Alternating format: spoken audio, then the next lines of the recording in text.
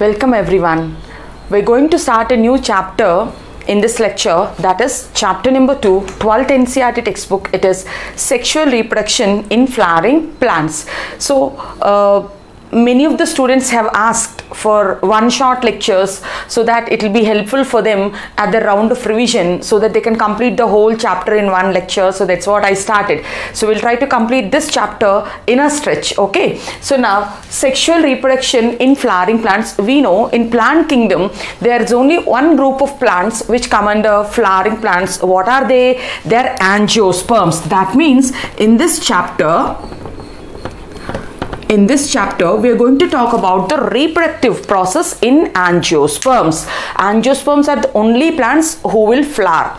Now, when we talk about flower, when we see the group of flowers, myriad of flowers, we enjoy.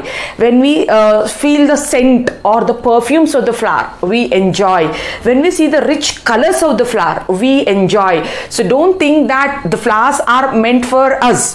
Flowers, actually, the plant is producing flower as an aid of sexual reproduction. So all these things, bunch of flowers, scent, perfume, rich colors for the flowers, what are they? All of them are the means or the aids of sexual reproduction. So we came to know that flowers are reproductive organs of a plant. So what are flowers?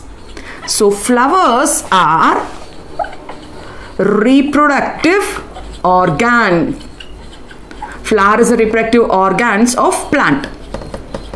Now then what are root, stem and leaf? Root, stem, leaf they come under vegetative parts, flower come under reproductive part. So root, stem and leaves they come under vegetative parts. They are vegetative organs.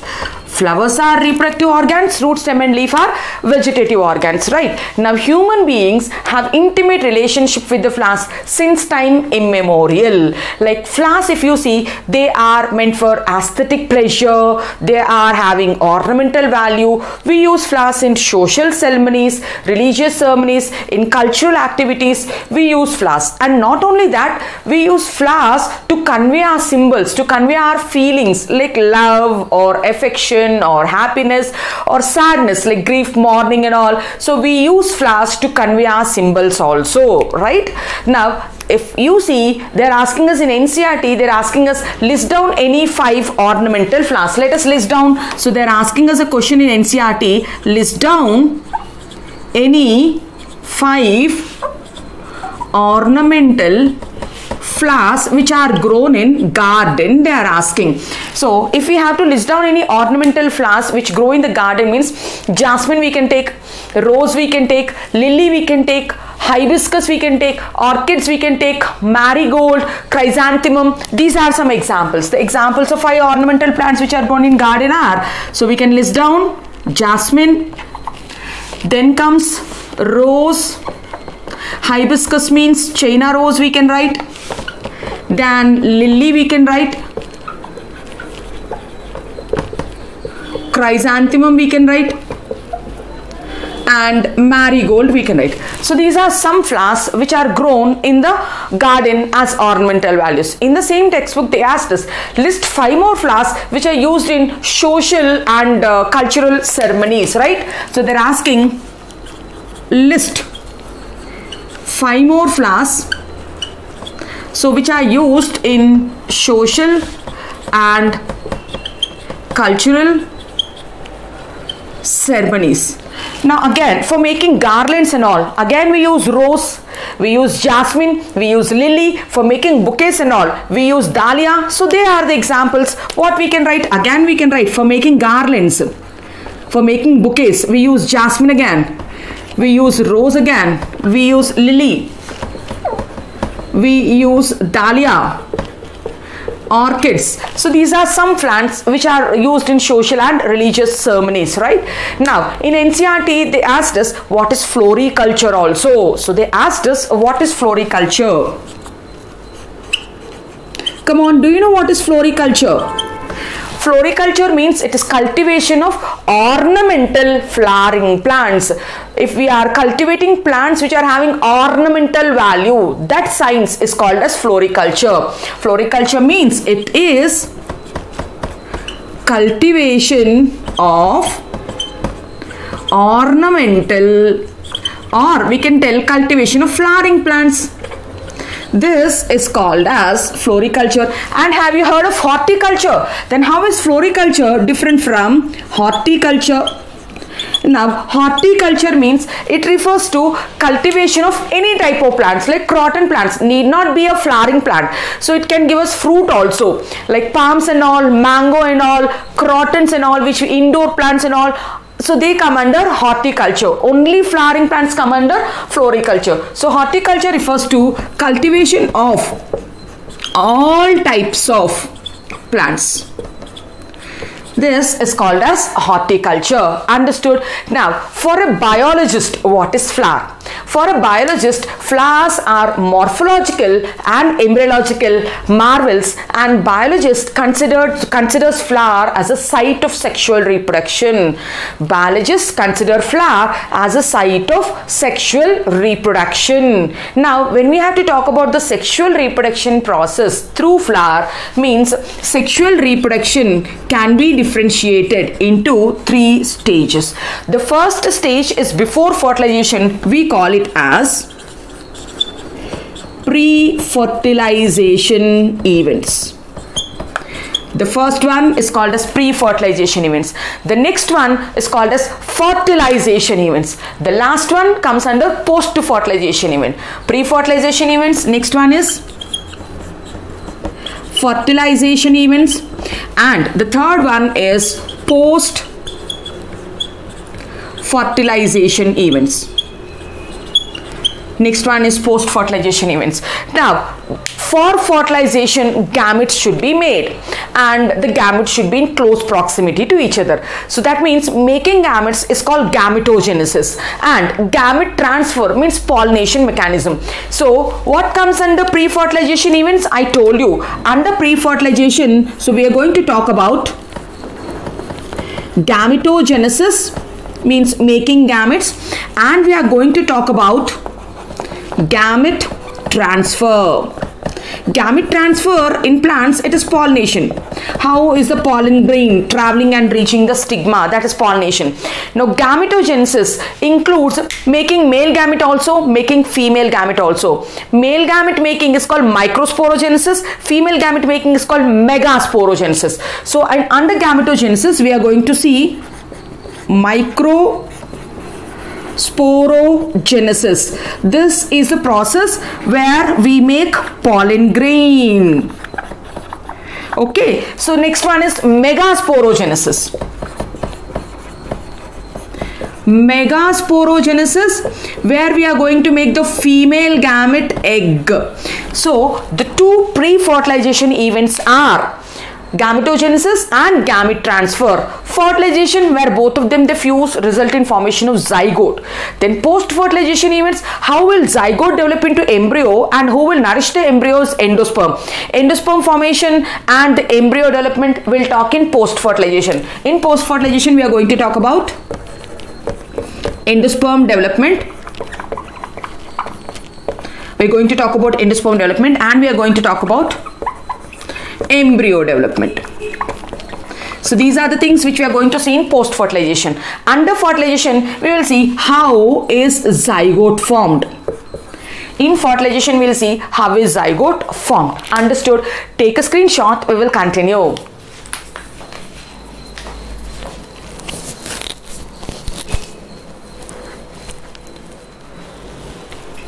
Right? Finished? Now in NCERT they have given the diagram of the flower, the parts of the flower. Now a typical bisexual flower shows four whorls. It shows four rings. The outermost ring is called as calyx. The second ring is called as corolla. The third ring is called as androecium and the fourth ring is called as gynoecium. Now if we see the flower, they have given us the picture of the flower. This is the stalk which is called as thalamus. On the thalamus, if we see on the outermost whorl, in the outer ring, so sepals will be there, right? So, what are these called as sepals? Now, where are sepals present? Sepals are present in the outer ring. What is the outer ring called as? Calyx.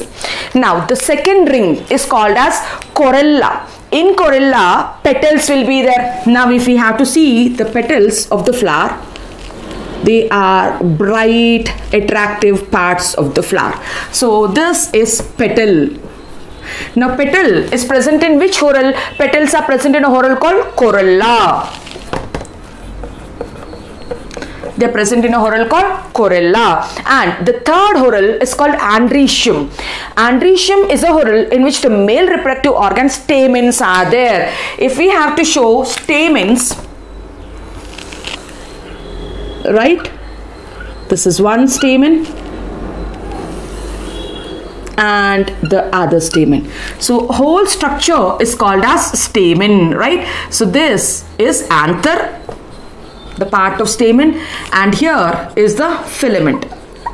Anther and filament both of them they make up stamen. And what is stamen? Stamen represents the male reproductive organ of the flower. Stamen represents the male reproductive organ. And the stamens are present in a ring. The name of the ring is called androecium where are stamens present? They are present in a ring called androecium and the innermost whorl is gynoecium in which pistil the female reproductive organ will be there. If we have to see the pistil this is the stigma. Long and slender style the bottom part is the ovary. Stigma style and ovary. All three together is called as pistil. And what is this complete structure called? It is called as pistil.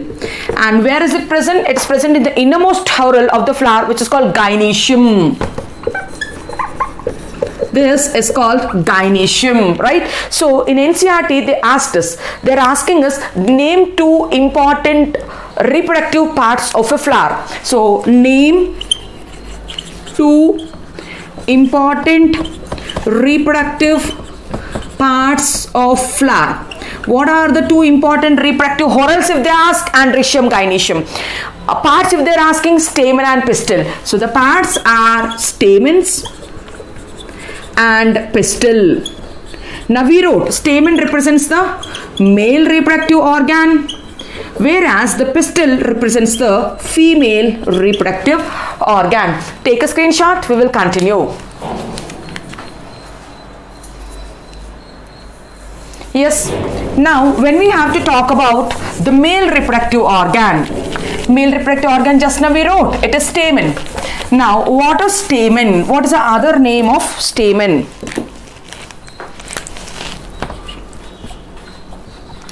children stamen is also called microsporophyll Phila means leaf. Okay. So it is making microspore, male spore. That is why it is called microsporophyll. Flower is a condensed shoot.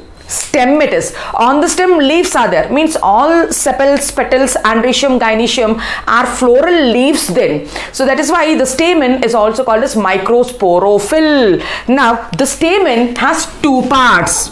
Stamen has two parts. So we know the picture of the stamen. This is the long slender stalk of the stamen. What is it called? Filament right? And at the terminal end of the filament it has bulged bilobed anther. So what are the two parts? So at it has a slender elongated stalk what is that stalk called? Filament. And at the terminal end of the filament at the terminal end of filament. It has anther. It has anther. Now usually the typical anther of angiosperms it is bilobed. You can see there there are two lobes. So we tell it is bilobed in nature. Now again, each lobe contains microsporangiums. Each lobe contains two microsporangiums. One, two, three, 4 okay? So that means each lobe contains 2 microsporangiums. Bilobed anther will contain 4 microsporangiums. Bilobed anther contains how many microsporangiums? 4 microsporangiums. So bilobed nature is called dithecous condition. And 4 microsporangiums is called as tetrasporangiate. Dithecous anther will have more 4 microsporangiums. It is called as tetrasporangiate condition. This is a common type this is a common type but when you see some families like Malvaceae where China rose is a member lady's finger there there's only one anther lobe so in Malvaceae members like hibiscus and lady's finger. Now in these two plants the anther has only one lobe. If it is having one lobe then two microsporangiums will be there. One lobe with only two microsporangiums will be there. So one lobe condition is called as monothecous and two microsporangiums what is it called as? Two microsporangiums is called bisporangiate. So in hibiscus we call it as monothecous bisporangiate monothecous bisporangiate you find it in hibiscus you find it in lady's finger we find it in malvaceae members. Means here only one anther lobe will be there. This anther lobe will have only two microsporangiums. This is a condition. Understood till here? Now the filament it is the stalk and the anther lobes in anther lobes two microsporangiums will be there. Now take a screenshot. We will discuss about the structure of the microsporangium right? So when we have to see the structure of microsporangium now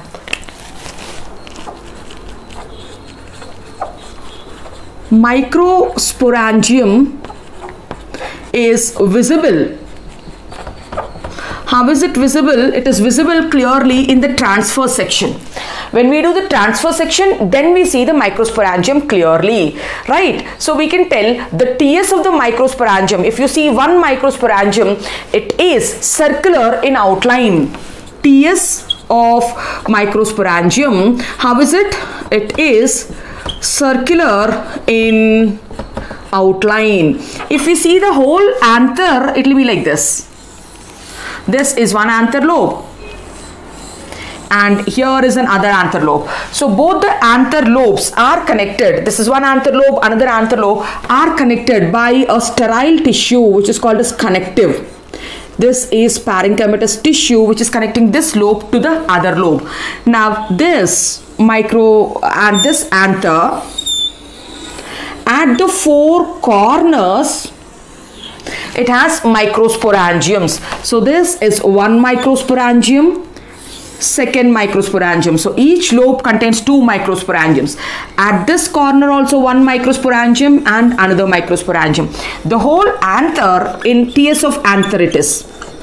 The whole anther in transverse section it is tetragonal it is tetragonal and where are the microsporangiums the microsporangiums they are at the corners. They are at the corners. And when we see the microsporangium how is a microsporangium appearing? It's appearing circular in outline. It's appearing circular in outline. And when we see the walls of the anther so the microsporangium is covered. It is covered by four layers.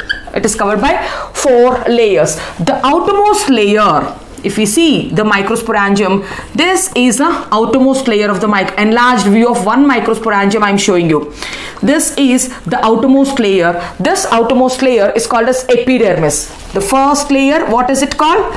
It is called epidermis. Single layered epidermis will be there, tightly packed cells will be there. The function of epidermis is protection. And the second layer will be endothecium. That is also one layered only, but the cells of endothecium are radially arranged.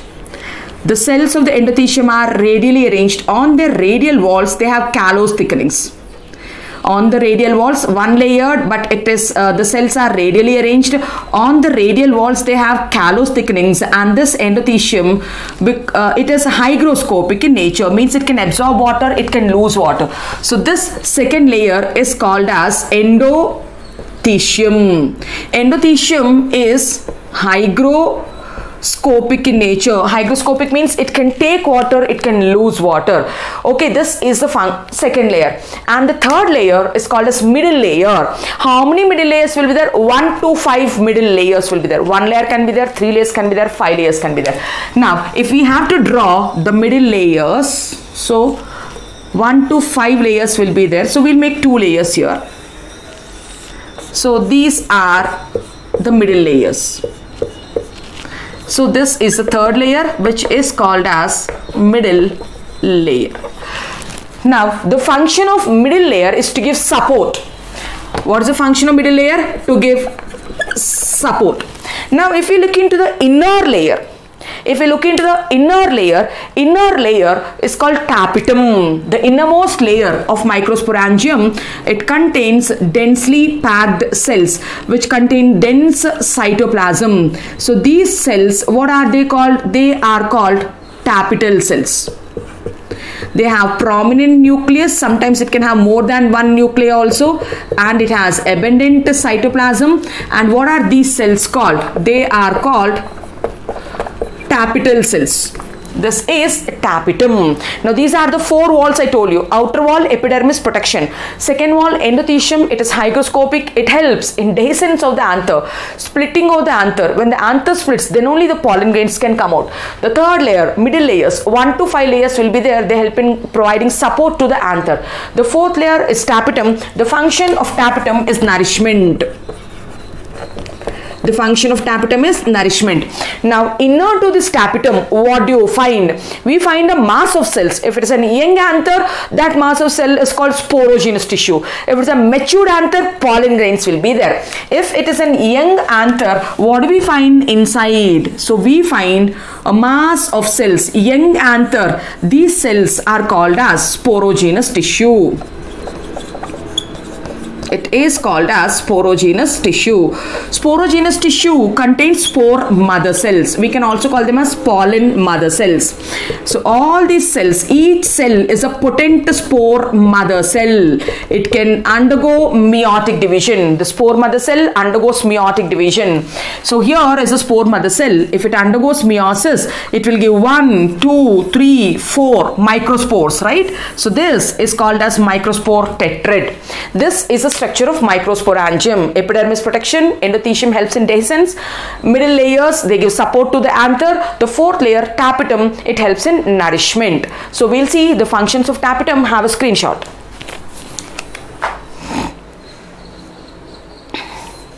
Right. If we have to list down what are the functions of the tapetum Now the first function of tapetum, we told it helps in nourishment of the sporogenous cells. Food. It provides nourishment to sporogenous tissue. This is first and foremost function. And if we have to talk about other functions, the tapetal cells, they secrete Ubisch bodies or Ubisch granules. They secrete Ubisch granules these Ubisch granules only will make sporopollen. These Ubisch granules only will make sporopollen. What is sporopollen? Sporopollen will make the outer layer of the pollen grain. Sporopollen, it makes the outer wall of pollen grain. That means the outer wall of pollen grain is made by sporopollen and the sporopollen is secreted by the tapetal cells. That is a next function. Then next function if we have to see. Now I told you that this is one spore mother cell undergoes meiosis division and it make four pollen grains or four pollen grains they, they will be together in NCERT they have given us a picture they are showing this is one pollen grain another pollen grain third pollen grain fourth pollen grain now this arrangement of pollen grains is called as isobilateral arrangement what is this arrangement called iso bilateral arrangement of pollen tetrad. It is isobilateral arrangement of pollen tetrad. So from one pollen mother cell, from one pollen mother cell, this is one pollen mother cell. From each pollen mother cell, we get four pollen grains. They will stick together in this manner and this outer wall which is covering all the four pollen grains, this wall is called as callose layer and when the callose layer dissolves then only each pollen grain will come out. For that we need callase enzyme. The tapetal cells will secrete callase enzymes to dissolve this layer and to release the pollen grains out. The third function is tapetum tapetum secretes callase enzyme. It secretes callase enzyme to dissolve the pollen grains. Now, to dissolve the callose layer and to release the pollen grains. Next one, entomophilous flask. If the pollen grains have to stick to the insect body, then the pollen grains should be sticky. That means a pollenkitt should be there for that pollen grains. Now, that sticky nature is secreted by tapetum only. So, tapetum, it makes pollenkitt it makes pollen kit. It makes the pollen grain sticky so that it can stick to the insect body and it can help in pollination. Children, these are the functions of the tapetal cells. Take a screenshot, we'll continue. Now, we were talking about pre-fertilization events. In that, we told microsporogenesis. Microsporogenesis means formation of microspores from microspore mother cell. Just now we saw microsporangium. We saw microsporangium. Microsporangium, inside it contains spore mother cells pollen mother cell or spore mother cell. It has undergone meiotic division. The spore mother cell is diploid. It has undergone meiotic division to make four microspores. The microspore arrangement can be in different manners. This manner they are given in NCERT. This is isobilateral arrangement. This is isobilateral tetrad. So the pollen grains can be 1, 2, 3, 4. This is called linear tetrad. It can be like this also. It can be a T-shaped tetrad also. So 1, 2, 3, 4. This is T-shaped tetrad. And it can be decussate tetrad also in decussate tetrad. So one cell here, second cell here, third cell here, the fourth cell as it's it's at the back. So in decussate tetrad, one, two, three cells. This is the whole third cell and the fourth cell is at the back of that. That is called decussate tetrad. And if we have to see tetrahedral shape, in tetrahedral shape, so one grain, second grain, third grain. The fourth grain will be behind. The fourth grain will be behind. Okay. So one, two, three, and this is the fourth grain. This is called tetrahedral tetrad. This is called tetrahedral tetrad. So altogether from one pollen mother cell, four pollen grains will be formed in different manners they will be there. In different manners the pollen grains are arranged and the tapetum secretes callase enzyme to dissolve the callose wall and they will release the pollen grains out, right? So let us see that. This process is called as microsporogenesis which involves meiotic division. Now, when we see a pollen tet this is a callose wall. One pollen second pollen third pollen fourth pollen. When the callose layer dissolves then the pollen grain comes out the pollen grain comes out. In NCERT they have given this picture. So each pollen grain comes out. What is this? This is called as microspore. Or we can call it as pollen grain. Now the pollen grain what is the dimension of the pollen grain? It is 25 to 50 micrometers in diameter the size of the pollen grain is 25 to 50 micrometers in diameter. And the pollen grain has prominent nucleus. It has prominent nucleus. It has abundant cytoplasm. And the cytoplasm is surrounded by plasma membrane. The cytoplasm is surrounded by plasma membrane. And the plasma membrane is surrounded by spore coat the plasma membrane is surrounded by spore coat. Now the spore coat of pollen grain has two walls, outer wall and inner wall. This is the outer wall. The outer wall of this pollen grain is called exine. This is the inner wall. The inner wall of pollen grain is called intine. Now the exine of pollen grain is rough in appearance. Exine is rough. Intine is smooth. Exine is thick in nature. Intine is thin in nature. Exine is discontinuous. Intine is continuous. Means intine throughout the pollen grain it will be there. But exine like it is rough right? So here it is. Here it is. Here it is. At this place exine is absent. At this place exine is absent. At this place exine is absent. The place where exine is absent it makes a germ pore. The place where exine is absent it makes a germ pore right? So that is why we're telling exine is discontinuous. Intine is continuous. Now the place where exine is absent it is called germ pore. And exine is made up of a fatty substance. Intine is made up of carbohydrate substance. The name of the fatty substance is called sporopollen what's the name of the fatty substance sporopollen the name of the in uh, carbohydrate substance is called pectocellulose. It is pectocellulose. Because of this sporopollen sporopollen it is the strongest hardest material of the plant body.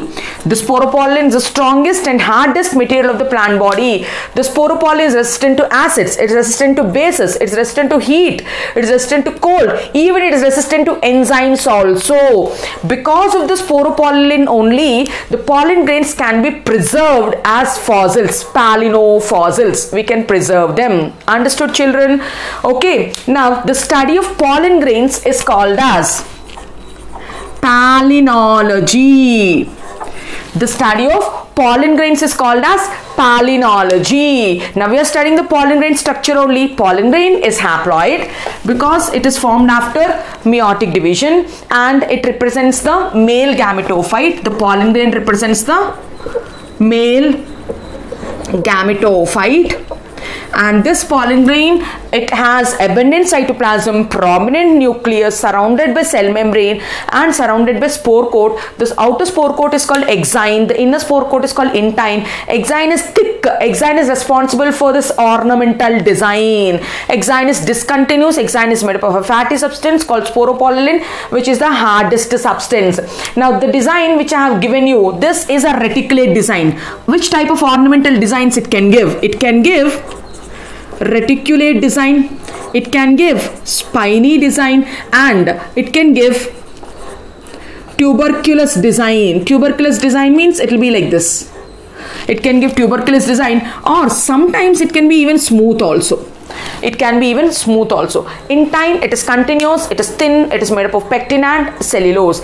Now because of presence of these many nutrients now what is the importance of pollen grain? Now it became fashion nowadays to take pollen grains as food supplements. It is taken as food supplements since they are rich in nutrients since they are rich in nutrients it is taken as food supplements. Now this if it is taken by athletes and if it is given for race horses it increases the performance. Now how it is taken? It is taken in the form of tablets and syrups it's taken in the form of tablets or syrups. And consuming pollen grain became fashion nowadays. So this is a significance of pollen grains what is the disadvantage of pollen grains what is the disadvantage of pollen grains now pollen grains in sensitized people. In hypersensitized people it causes pollen allergy it causes pollen allergy. Pollen allergy is called as hay fever. Pollen allergy is called as hay fever. Take a screenshot. We will continue. Aye. we were discussing about pollen grain. When we have to see pollen grain development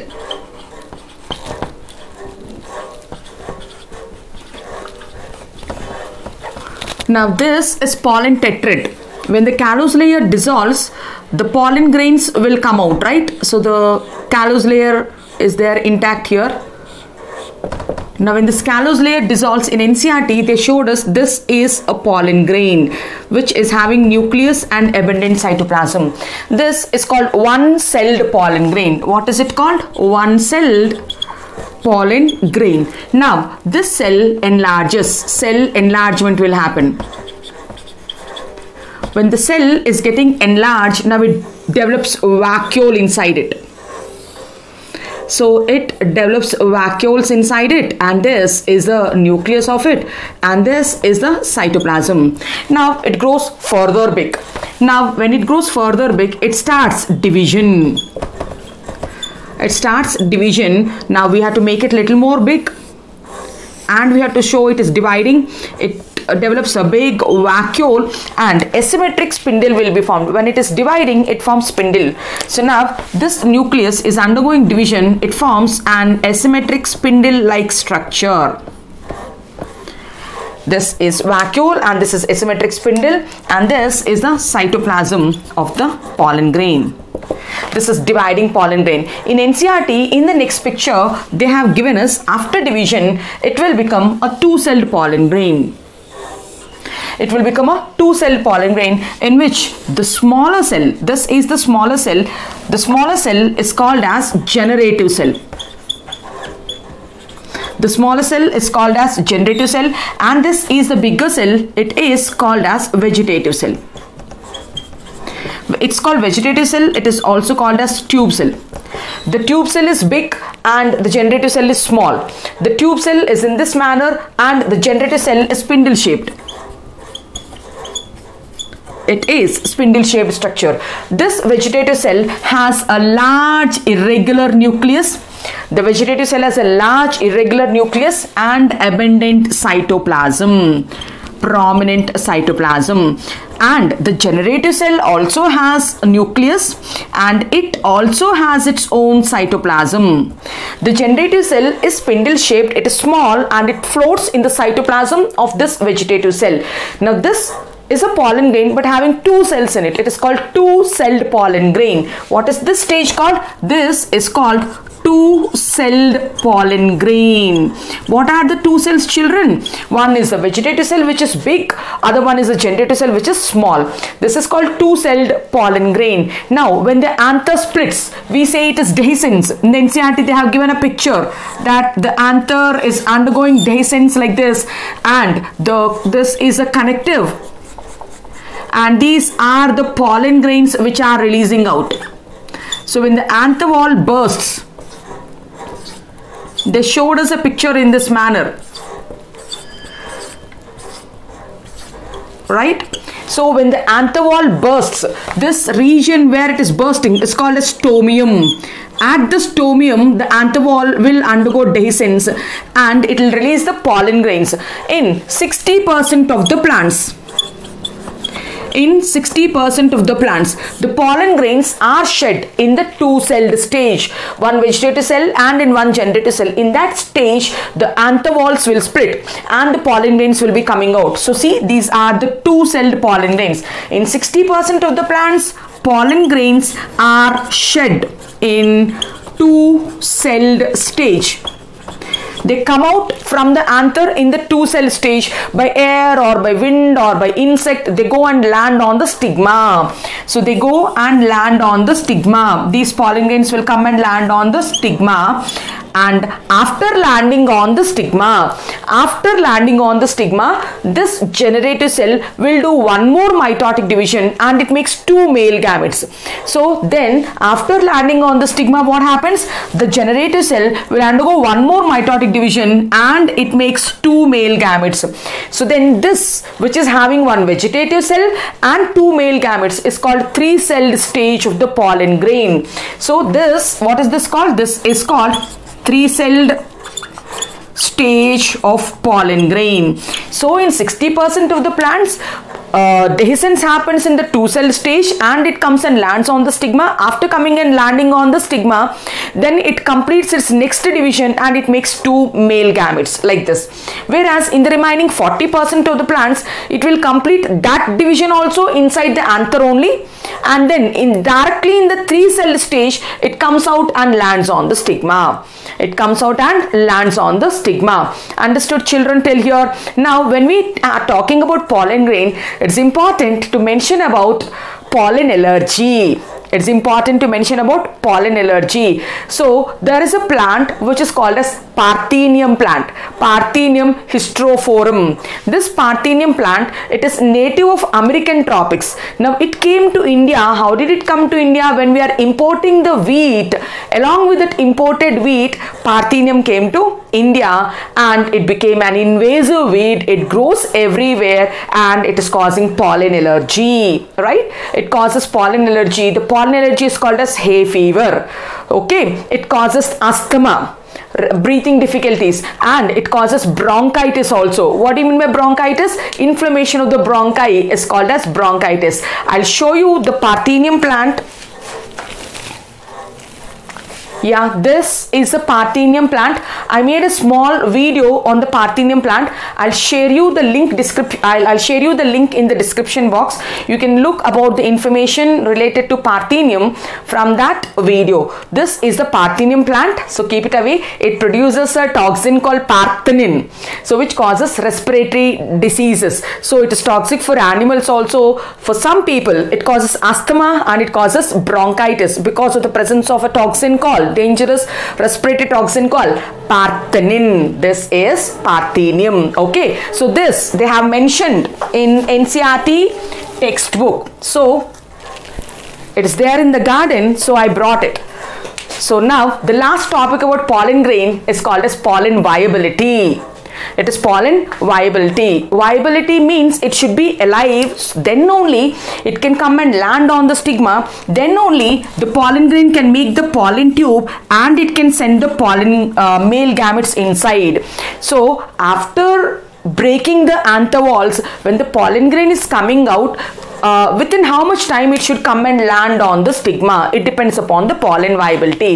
In NCRT, they are mentioned about pollen viability. They told in some plants like rice, right, and in grasses, the pollen grain viability, it lose its viability within 30 minutes. Means after 30 minutes, the pollen grain is dead. So after 30 minutes, it goes and lands on the stigma, no use. It cannot germinate. The pollen grain cannot germinate. So in grasses, in rice, wheat, and in grasses, the pollination or the pollen grain should go and land on the stigma within 30 minutes itself. Whereas if you go with other families like Rosaceae, Leguminosae, Solanaceae, there the pollen grain is viable for months together. It can nicely uh, roam around and it can go and fall on the stigma because the pollen viability is for months together. So this is about pollen viability. Now when we talk about crop breeding programs, see I showed you Parthenium. Now in the same manner, if we go to other country, we like some plants there, so we want to bring it to our country. So then it's not possible. If you think it's not possible, we can't carry it in uh, airplanes and like that, then we can bring their pollen grains. But if at all, if the pollen grains viability is within 30 minutes, after 30 minutes, if it dies, then how will you bring it? Means there is a technique. The name of the technique is called cryo preservation the name of the technique is called cryopreservation. It is also called lyophilization. Cryopreservation or lyophilization is a technique. It's a preservation technique. We can store the pollen grains. In animal breeding, they'll store the sperm. In plant breeding, we store the pollen grains where male gametes are there. We can store the uh, sperms or we can store the pollen grains in this technique at in liquid nitrogen we will store at minus 196 degrees centigrade in which nitrogen? In liquid nitrogen at minus 196 degrees centigrade. When we are storing any sample that technique is called as cryopreservation. The significance of this cryopreservation is the sample will be viable for years together the sample will be viable for years together. So then you can um, do whenever you want crop breeding programs. Children all this is information about the male part. Now let's go into the female reproductive structure which is called as pistil. Take a screenshot. We'll continue.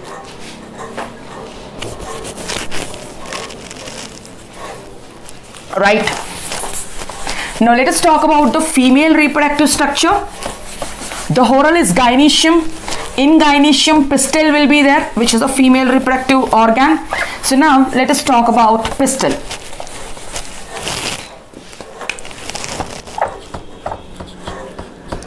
It is also called carpel it's called pistil or it is called carpel right?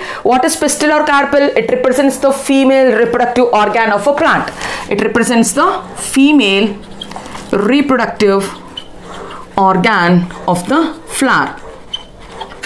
Now, if the flower is having only one pistil, then it is called as monocarpellary. If the flower has one pistil, if it has one pistil, what is it called? Monocarpellary condition. Now, if the flower, if it is having many pistils, if it is having many pistils then it is called as multicarpellary condition then it is called as multicarpellary condition. If it is having many pistils, now we have a doubt. Are all the pistils fused or this are they separate? Now, if they are fused, what is that condition called? If the carpels are unfused, what is that condition? If they are separate, what is that condition called? If it is fused, it is called syncarpous condition. Multicarpellary syncarpous condition. Now, if they are unfused, they are separate from each other, then that is called multicarpellary apocarpous condition. Right? In NCERT, they have given the parts of the carpel or pistil. A carpel or pistil has three parts. The three parts are, first one is the stigma, Next part will be style and the third bottom swelled portion is called as ovary. In NCERT, they have given us the picture of hibiscus pistil. Hibiscus pistil, the stigma is pentacarpellary. They have given the picture like this. So this is pentacarpellary stigma and here it has anthers yellow colored bunch of anthers will be there here right? So uh, we need not draw this because it is androecium so this is stigma. What is this? This is stigma. And this is style. And at the bottom ovary will be there. This is the ovary. And ovary is on thalamus or receptacle right? Inside the ovary ovarian compartments will be there ovarian locules will be there. Inside the ovary ovarian compartments or locules will be there. They are called locules. Now inside the locules there is a ridge or bridge which is called placenta now attached to the placenta. If you take hibiscus it is pentalocular so one two three four five. Five locules are there. At the center placenta is there. Now attached to the placenta small tiny ovules will be there. So this is the ovule these are the ovules. Now these are the parts of a carpel or pistil stigma style and ovary. Now the stigma this is the stigma. What is the function of the stigma? I told you. Now pollen grain comes and lands on the stigma. That means means stigma acts as a landing platform for pollen grain. It acts as a landing platform for pollen grain and style is a region through which the pollen tube will descend down sending the male gametes inside. So style through which through the style only the pollen tube will descend it will descend and it will reach the ovary. Now ovary it is the bottom portion which is sitting on the thalamus in which compartments will be there in which ovules are there. Ovary is the bottom bulged portion. It is the bottom bulged portion which contains ovules. The ovary contains ovules right? Now we were telling that this is one carpel. If the carpels are many and if they are fused the condition is called syncarpous condition. In NCERT they have given example for a syncarpous condition as michelia what example they have given? Michelia example they have given right? I'm sorry they have given the example of papaver michelia is example of apocarpous condition for syncarpous condition Papaver somnifera, poppy plant they have given us the example. If we have to see the picture of fused syncarpous condition, so like this it is, this is the ovary and this is the thalamus and here is the fused carpels many carpels are there. So we can make out one two three four five carpels are there and all of them are fused. What is this condition called? This is multicarpellary syncarpous condition. Example we wrote there. Papaver somnifera poppy plant right? And if we have to see examples of multicarpellary apocarpous condition as I told they have given example of michelia we can take the example of magnolia also. Annona also we can take the example of apocarpous condition where we can see the thalamus on the thalamus we can see many ovules are there. Sorry. Many carpels are there. But each carpel is separate from each other. It's not fusing. Here all the carpels are fused. But here the carpels are separate from each other. So this condition is called as apocarpous condition. Many carpels but separate. What is it called it is apocarpous condition found in Michelia, Magnolia, Annona plant, right? Now this, what is this? This is carpel. Now if you come to see the part stigma, style and ovary, we told that the ovary contains placenta. In the uh, attached to the placenta, ovules will be there. Now what is the shape of a typical ovule of angiosperm means? It is anatropous ovule. What is the shape of the ovule? The shape of the ovule is anatropous ovule. It is anatropous ovule. Take a screenshot. We will continue.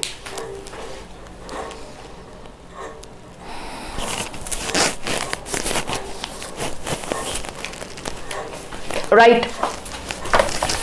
If we have to see the ovule what is the ovule called as? Ovule is also named as megasporangium. Microsporangium is there inside the anther.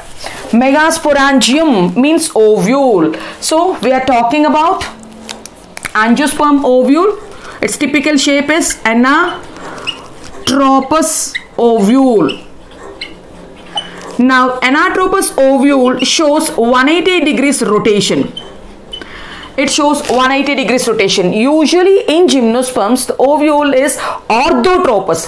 Orthotropous means this is a body of the ovule and this is an integument of the ovule. One integument will be there, unitegmic.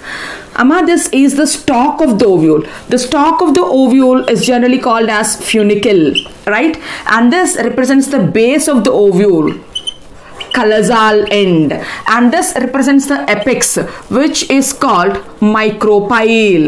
Now if the micropyle chalazal end and funicle end are on the same axis. Now such an ovule is called orthotropous ovule. We can see it in gymnosperms Whereas in angiosperms, we are telling it is anatropous ovule. So what is the shape of an anatropous ovule means?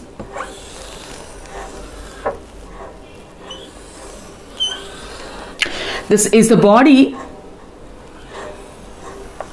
one integument and this is the second integument and here is the stalk this is the stock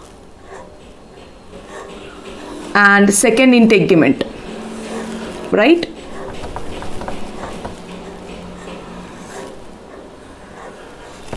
this is the second integument.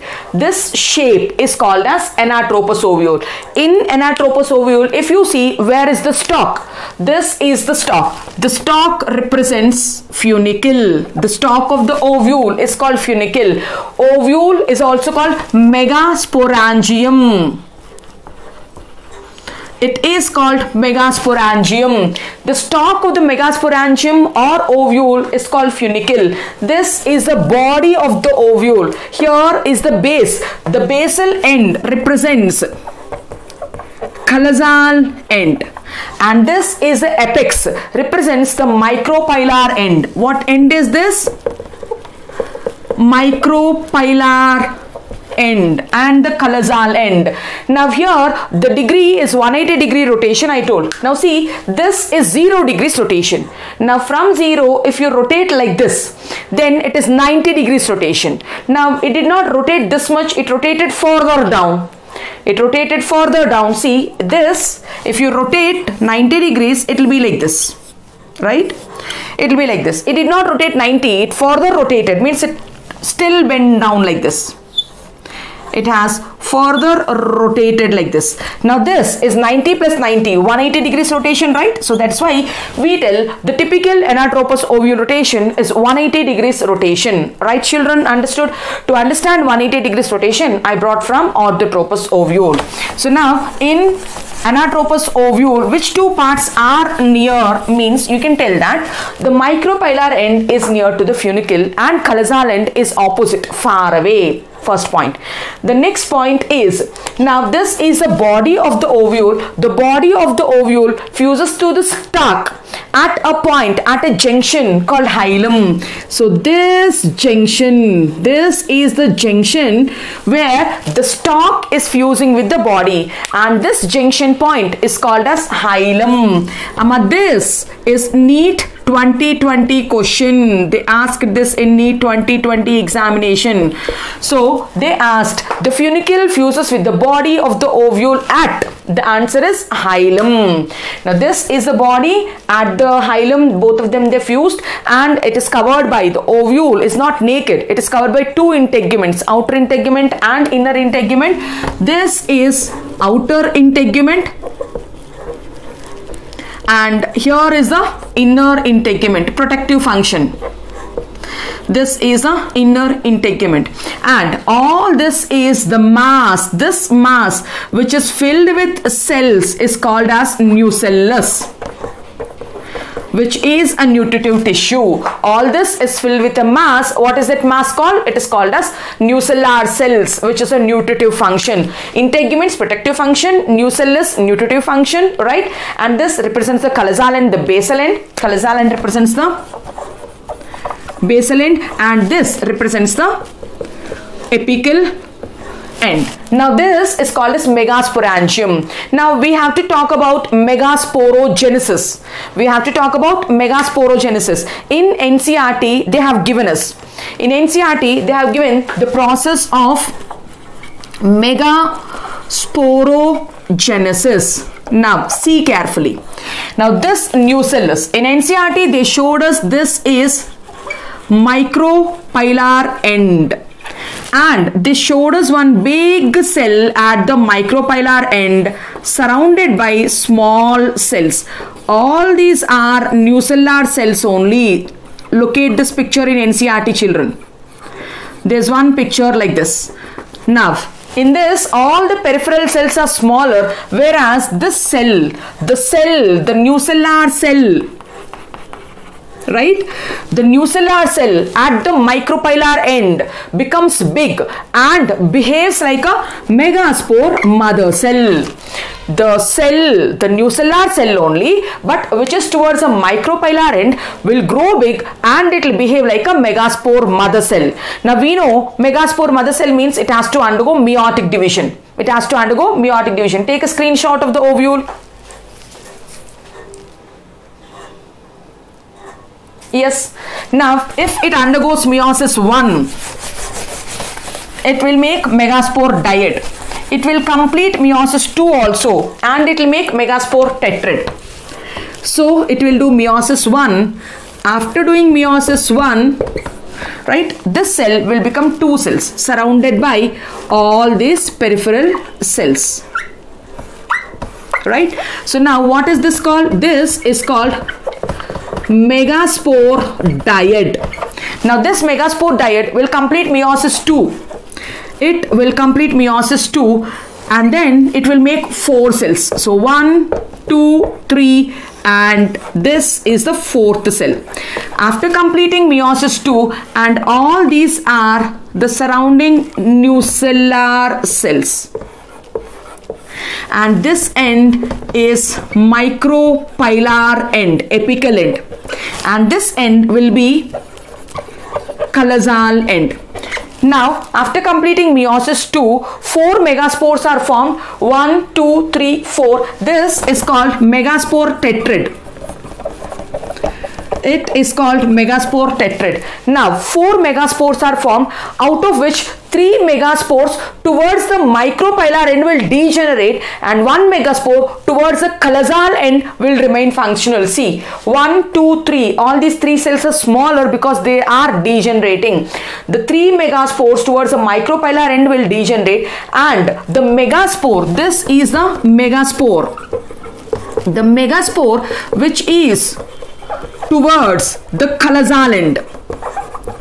Which is towards the chalazal end will remain functional it will remain functional. Now this functional, one functional megaspore will develop female gametophyte which is called as embryo sac.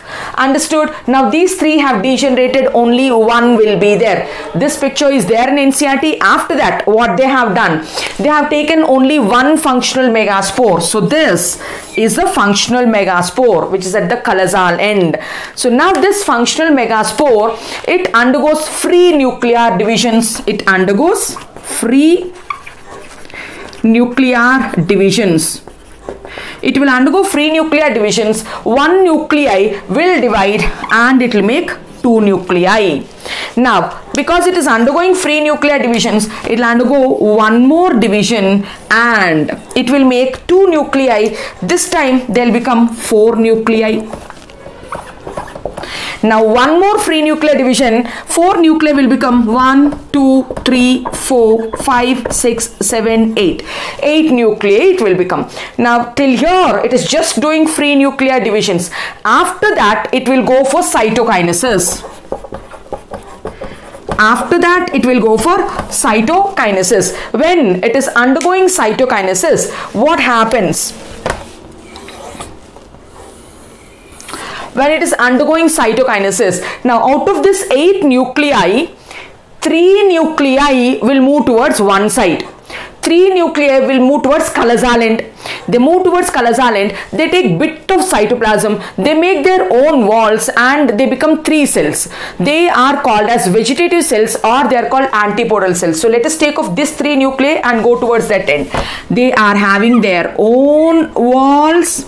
They will take bit of cytoplasm and these are at the chalazal end and they are called antipodals antipodal cells they are. Now three more nuclei will also take little bit of cytoplasm and they will also make their own walls and they will move towards the micropylar end. This is chalazal end means this is micropylar end. Towards the micropylar end again three more nuclei are moving. This is one cell this is the other cell and this is the other cell. Now these three together it's called as egg apparatus. Three together. What is it called? It is called egg apparatus. In the egg apparatus the two lateral cells are called synergids and the central cell is called egg cell. Now this is the middle cell which is called egg.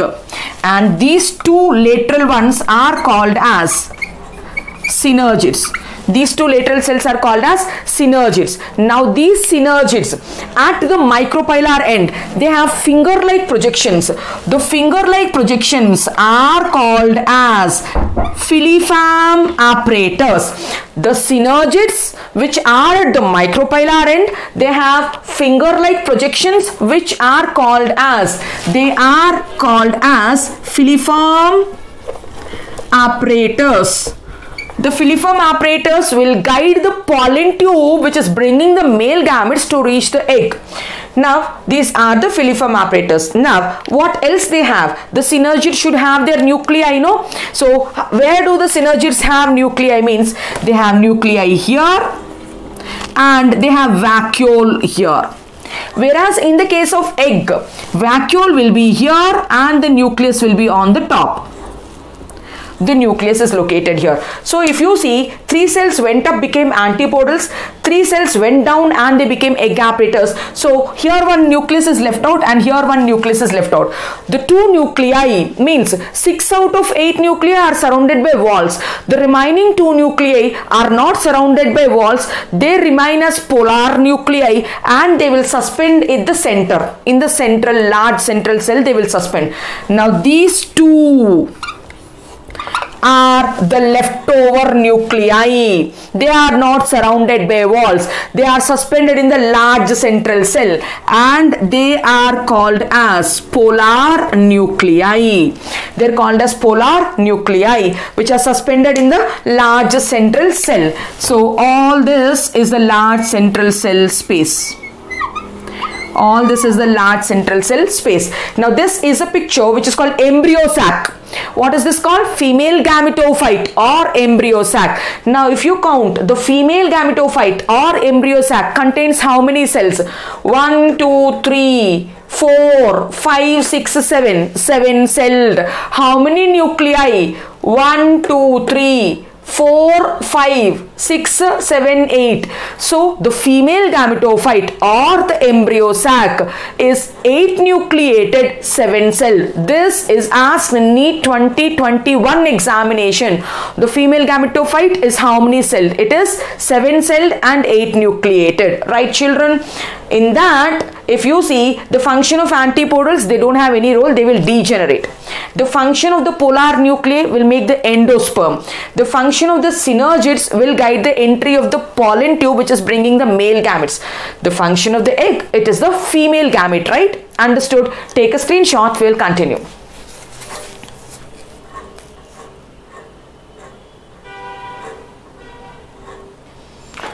right so we finished the female gamete also we have seen the female gamete egg and we have seen the male gamete also now the next process is pollination Now the anther has undergone dehiscence. It has released the pollen grains. Now the process of transfer of pollen grains from the anther to the stigma is called as pollination. So what is pollination? Now we are going to talk about pollination. What is pollination? It is the process of transfer of pollen grains from the anther to the stigma. Children in plants, both male and female gametes are non-motile. In humans, male gamete, the sperm has a long flagella, it can swim and come. Whereas in the case of plants, both male and female gametes are non-motile. So they should be uh, taken by an agent. So that process is called as pollination. The process called pollination depending upon the source of the pollen there are three types of pollinations depending on the source of pollen grain. Three types of pollinations are there. The first pollination is called as autogamy. The second pollination is called as geitonogamy and the third pollination is called as xenogamy. There are three types of pollination. One is autogamy, another one is geitonogamy and the third one is xenogamy. Now autogamy is called self-pollination. Autogamy is called self pollination now what do you mean by self pollination in self pollination take a plant we'll take a flower right? This is the thalamus. This is the stigma style and ovary. And this is stamen. Now petals. Right? So in autogamy self pollination the pollen grains from the stamen come and land on the stigma of the same flower if the pollination is happening within the flower of the same plant. So what is self-pollination? Pollination happened in one flower in one plant. So then that is self-pollination only. That is self-pollination only, right? Now self-pollination advantages. What are the advantages? No need of pollinator assured com uh, compulsory pollination will happen. Assured seed set will be there. But the disadvantage is continuous self pollination continuous inbreeding leads to inbreeding depression. It leads to inbreeding depression. It leads to loss of vitality loss of vigor and all those things right? Now if you see uh, for autogamy in ncert they were talking about two types of flowers called cleistogamous flowers and chasmogamous flowers cleistogamous flower and chasmogamous flower. Now, cleistogamous flower, clister, fist, closed flowers they are. Cleistogamous flowers are closed flowers. Chasmogamous flowers means they are open flowers cleistogamous flowers are geotrophic. They're inside the soil. They cannot open. They'll be like bud only.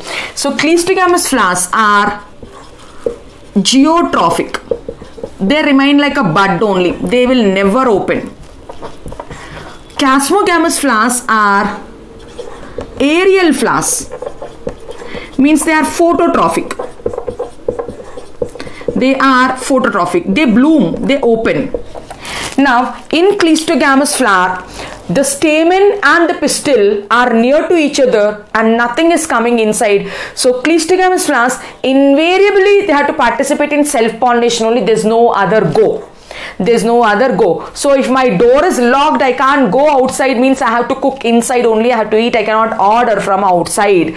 So like that it is. Cleistogamous flowers are closed flowers they are they have to invariably undergo self pollination only. Whereas chasmogamous flowers so they can go with uh, self pollination also. They can go with cross pollination also. Now there are three plants here to be mentioned. One is called as viola the second one is called as oxalis and the third one is called as Commelina benghalensis. Now, I made a small video on these plants. Again, I'll share the link in the description box. You can look at those plants. So, if we see the images, it will be better for us to remember it for more time. So, Viola, Oxalis and Commelina plants I have collected and I have share, I'll share you that link. Watch that video. It is for two minutes only.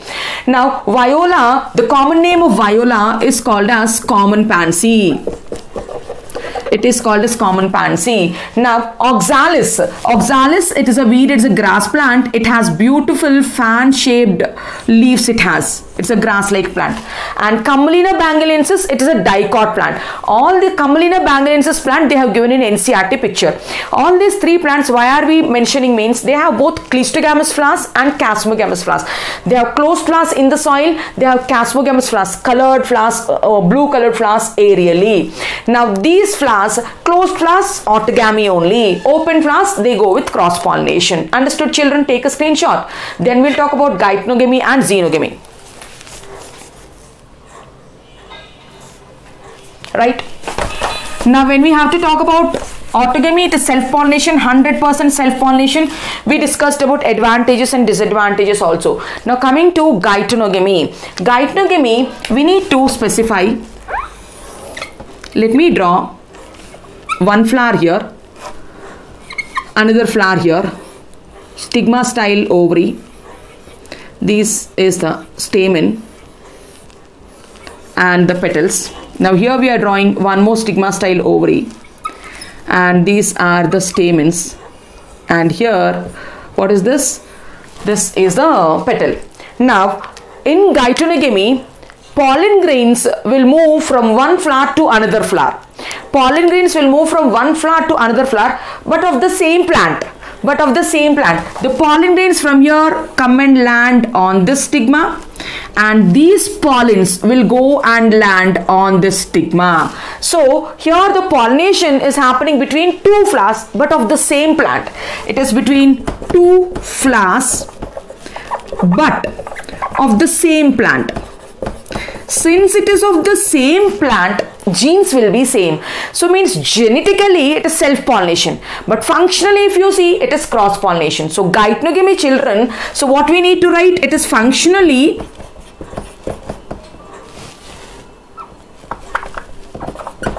functionally it is cross pollination right? Whereas if we talk about genes the genes are the same. So genetically it is self-pollination only. So it is something like hybrid. Cross-pollination also we are telling self-pollination also we are telling. This is called as geitonogamy where can we find geitonogamy means in maize plant. In maize plant unisexual male flower the tassel inflorescence will be on the top of the plant. The female inflorescence corn cob what we eat will be at the axis of the leaf. From there from the male flower the pollen grains will come and fall on the female inflorescence but of the same plant. That's called geitonogamy beautiful example for geitonogamy will be maize plant now coming to xenogamy. So this is 100% self-pollination. This is 50-50. Xenogamy means 100% cross-pollination it is. It is 100% cross pollination. Now 100% cross pollination means we are going to draw two plants here. So one plant and the another plant. Now on one plant stigma style ovary. These are the stamens. And this is the petal. This is one flower. And another flower will show it here of another plant. Now in xenogamy the pollen grains will move from one flower to another flower from one plant to another plant also from this plant to this plant also. These pollens will come and drop here these pollens will go and drop here. So the exchange is happening between two flowers and two plants. So here two flowers but same plant. But here we'll tell two flowers and two plants also. That means it is 100% cross pollination this is 100% cross pollination so this is the classification of pollination. Depending upon the type of the pollen grain. Take a screenshot then we will talk about the type of pollination depending upon the agents right? Take a screenshot.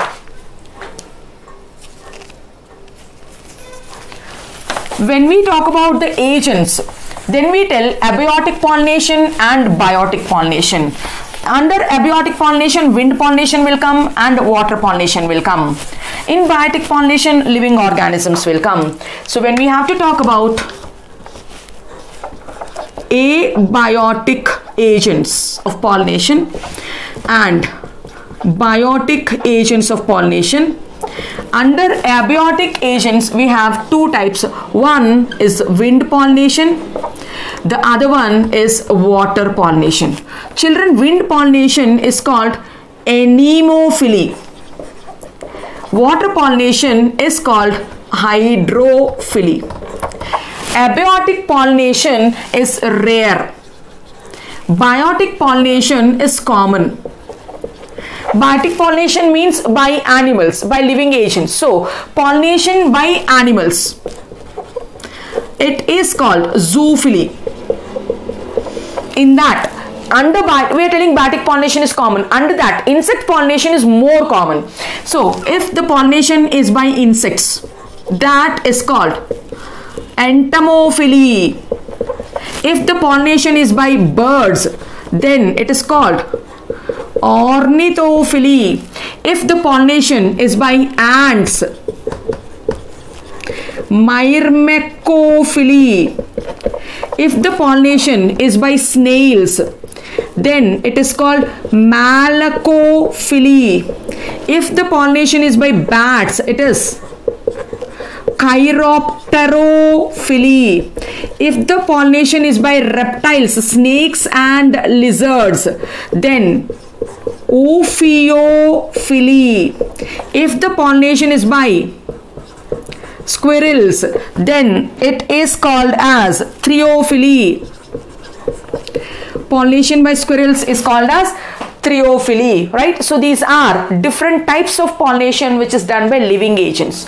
Now coming to abiotic agents, wind pollination is called anemophily, water pollination is called hydrophily. Wind pollination is little more when compared to hydrophily. Hydrophily occurs in monocots it occurs in monocots it occurs in aquatic plants. Not all the aquatic plants only 30 genera. Only 30 genera of monocots they participate in hydrophily. Take a screenshot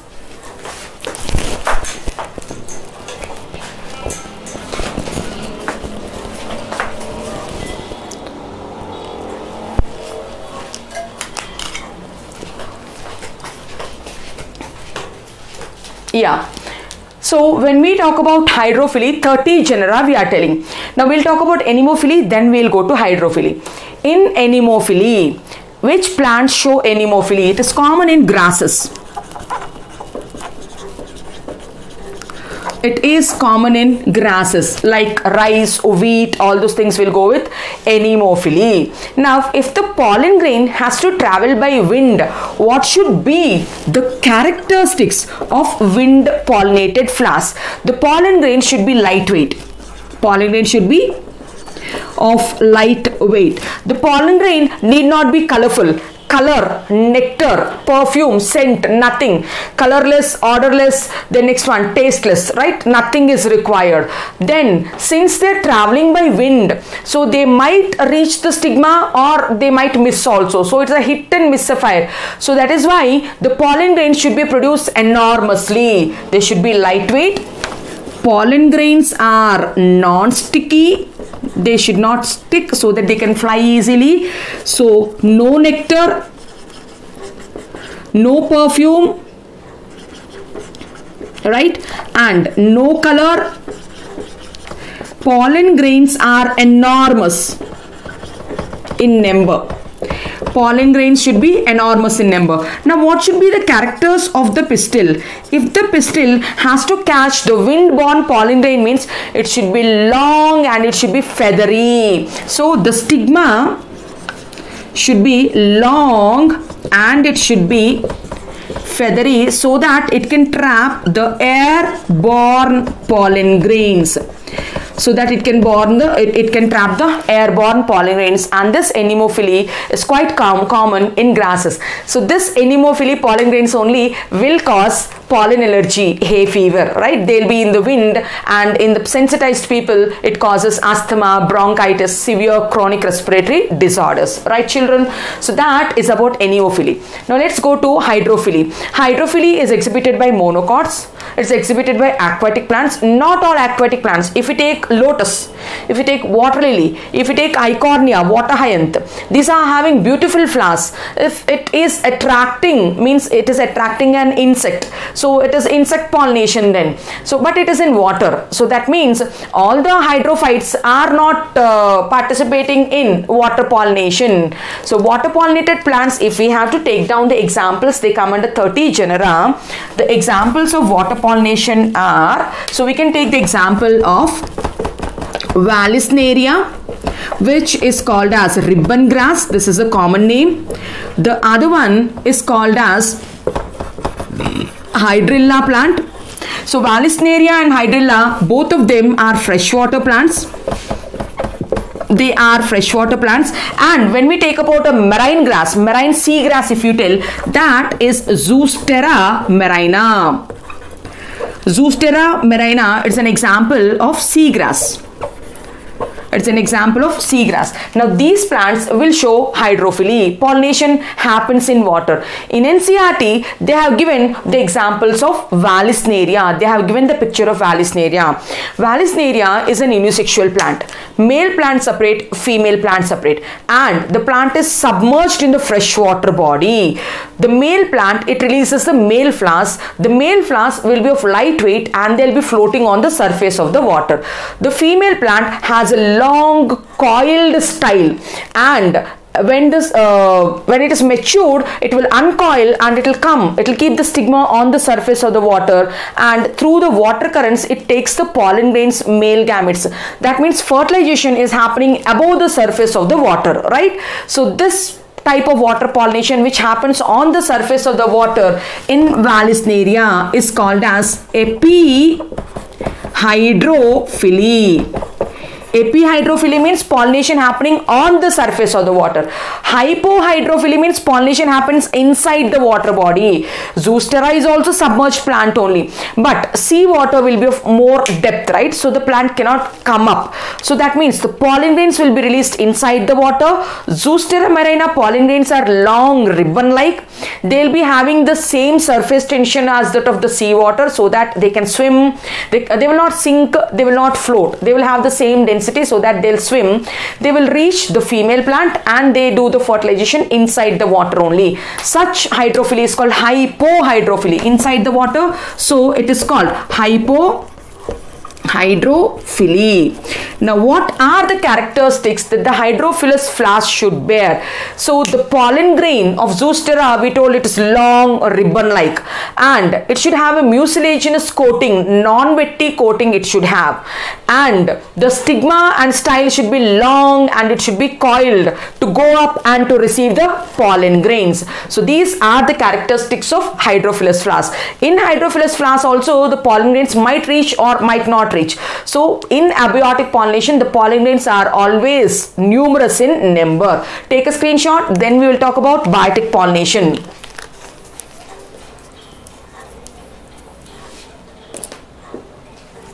right in biotic pollination. Which pollination is common? Entomophily. Insect pollination is common. In insects which type of insects will come? Majority bees will come because they need to collect the honey. So bees will come moth will come beetles will come wasp will come ants will come. All this comes under insect pollination only. Entomophily which is very common. In that bees are very common agents of pollination. Now why the bee is visiting the flower? If you see the garden, if you just observe some flowers early morning, if you see bees will visit them. So why are they visiting? So the at the base of the ovary nectar glands will be there so the insects want to collect the honey even the mosquito also will feed on the honey only. For collecting that nectar the insect will come. Or some edible pollens will be there. To eat the edible pollens also the insect will come. And or sometimes the flower might even provide space for the insect to lay the eggs also. So for laying eggs insects will come. In that act what happens? The anther will undergo dehiscence. The anther will split and the pollen grains will be released. So in entomophily the pollen grains will be sticky so that they can stick to the surface right? Of the they can stick to the body they can stick to the wings or they can stick to the legs. The pollen grains will be traveling uh, with on the body to another plant to another flower and the pollination will be happening. So in entomophilous flowers what are the characteristics? Sticky pollen grains it's the first characteristic. And the flower should provide floral rewards to make the insect to come again and again so that the insect can revisit again. What are the floral rewards? Nectar, honey or edible pollen grains or giving space to legs. There is a biggest flower you know which is called as Amorphophallus. It is 6 feet tall flower. If it is such a big tall flower, yeah it can give space for the insect to lay the eggs. So the flower provides floral rewards sometimes by giving space for the insect to lay the eggs also. Now such a beautiful relation is exhibited by a moth called Pronuba moth and yucca plant. Yucca plant will have fig inflorescence. So this is a inflorescence, swollen thalamus in which unisexual flowers will be there. Now at this place male flowers will be there. At the bottom fertile female flowers will be there. And at this place sterile gall flowers. Sterile female flowers will be there. The insect blastophaga right? The insect is coming inside to lay the eggs. So on the insect body we know it carries the sticky pollen grains. It will come inside why it is coming inside to lay the eggs? So it will go inside and it will drop these pollen grains on this female flowers. That means female flowers have undergone fertilization. Now, where it will lay the eggs? It will lay the eggs on these gall flowers, sterile flowers. Anyway, they are sterile. So, the insect will lay its eggs in the sterile gall flowers. And while it is going up, it picks the pollen grains from these male flowers. It will pick the pollen grains from the male flowers. It will go and it will pollinate the other one. So in Yucca and Pronuba moth, we can see the symbiotic mutualistic association. So this is about biotic pollination characteristics of entomophilous flowers, right? Now take a screenshot. We will talk about outbreeding devices then.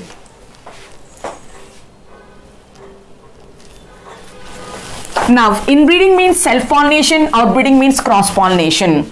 Now, inbreeding leads to inbreeding depression. So, that's why the plants discourage self-pollination and they encourage cross-pollination by doing certain mechanisms which come under outbreeding devices. It come under outbreeding devices there are four means of discouraging self-pollination and promoting cross-pollination. Now why? Because continuous self-pollination leads to inbreeding depression. That is why they discourage and they go for outbreeding. What are the four mechanisms? The first one is called as dichogamy. What's the first one? Dichogamy. The second one is called as hercogamy the third one is called as self incompatibility. And the fourth one is called as uni sexuality. The four methods are dichogamy, hercogamy, self-incompatibility and unisexuality. Dichogamy, the name itself tells that even though it's a bisexual flower, there is no synchronization. Either androecium will mature first or gynoecium will mature first. So in dichogamy, there is no synchronization between there's no synchronization between the anther release the pol between the pollen release and the stigma receptivity. Right? Between the stigma receptivity. If the androecium matures first by the time still stigma is not matured that condition is called protandry. In protandry what happens? Male will mature first. The androecium matures early. In some other cases, you know the gynoecium will mature early. What is it called? Protogyny. So it is called protogyny gyne. Protandry and protogyne are examples of dichogamy. There's no synchronization. Now second one is hercogamy. Hercogamy means the andrecium and gynecium either they are in different directions either they are in different directions or they are at different lengths one is this side and other one is this side. So they cannot uh, transfer the pollen grains like this. So either they're in different directions or they are in different lengths. Then also pollination self pollination will not happen. That is hercogamy. The third one is self incompatibility in self incompatibility when the self pollen comes and lands on the stigma when the, this is the self pollen when it comes and lands on the stigma the stigma will not receive it. The stigma will release uh, will accept the different type of pollen grain. So means self incompatibility so if it is its own it will not uh, receive it. It will reject this and it will accept this. That is called as self incompatibility and the last one is called as unisexuality. Unisexuality means male plant and female plant. Male flower and female flower are separate. Under unisexuality we have two conditions. Monoecious condition and dioecious condition. What do you mean by monoecious condition? In monoecious condition the unisexual male flower and this is the unisexual female flower. Unisexual female flower where only pistil is there unisexual male flower where only stamen is there. If unisexual male and female flowers are present on the same plant if unisexual male and female flowers on same plant then that is called monoecious condition. Dioecious condition so two plants separate plants. One plant will have gynecium the other plant will have only stamens now this is the female plant and this is a male plant. If both are separate that is dioecious condition. Now in this condition geitonogamy can happen right? So in that condition geitonogamy will also not happen. So in monoecious condition what happens? So this pollinators can come and land on this one. That's called geitonogamy so in unisexuality monoecious condition only autogamy can be prevented only autogamy can be prevented. But geitonogamy occurs. Whereas in dioecious condition since they are completely separate both autogamy and geitonogamy are prevented. It is 100% outbreeding. So because two plants are separate both auto and geitonogamy are prevented in this case. So this is about outbreeding devices. Take a screenshot then we'll talk about pollen pistil interactions.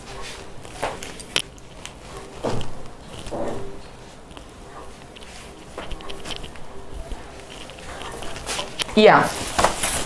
Now when we talk about pollen pistil interaction, so we have seen here, that means the pistil has an ability to recognize whether it is a compatible pollen or non-compatible pollen. That concept is called as pollen pistil interactions. With the advancement of new tools and techniques, scientists recently only came to know that, like see, I'm communicating with you in English, I'm teaching. So you are understanding the concept. In the same manner, we are communicating in English language, English dialogues we are doing. Now, the pollen and pistil also they exchange their dialogues but not in English not in any other language. They exchange chemical dialogues. That is called as pollen pistil interaction. So what's the next concept? It is called pollen pistil interaction. It is called pollen pistil interaction. Only recent days the scientists came to know that the pistil has the ability. It has the ability to identify the right pollen. It has the ability to identify right pollen means compatible. It can identify the compatible pollen. If it is a right pollen then it will allow it to germinate. If it is a right pollen it will allow it to do post pollination post pollination means it will allow it to do undergo fertilization. And if at all if it is a wrong pollen if it's a wrong pollen means non-compatible right? If it is a non-compatible pollen then it rejects it it rejects it. So that means the scientists are telling there is a continuous dialogue between the pollen and the pistil through chemical mediators. There is continuous dialogues between pollen grain and pistil. There is continuous dialogues between pollen grain and pistil and the pistil will decide whether to permit it inside or not to permit inside. Now from the time the pollen grain comes and lands on the stigma till the pollen tube sends the male gametes to the egg. From that point till the male gametes reaches the egg together are called as pollen pistil interactions right. Now in crop breeding programs in crop breeding programs what do we do crop breeding programs there's a technique called artificial hybridization. There is a technique called artificial hybridization. So we want to get superior varieties. To generate superior varieties so we don't want uh, any other pollen grain to come and land on it. We brought some superior pollen grains from a superior plant.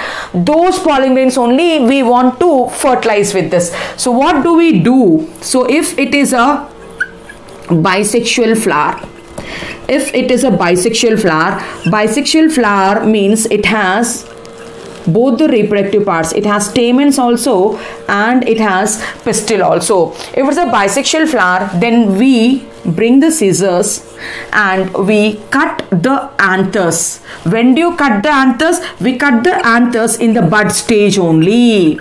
Cutting down the male part is called emasculation. This process is called as emasculation so we will do this so that only the female part will be there intact with the flower.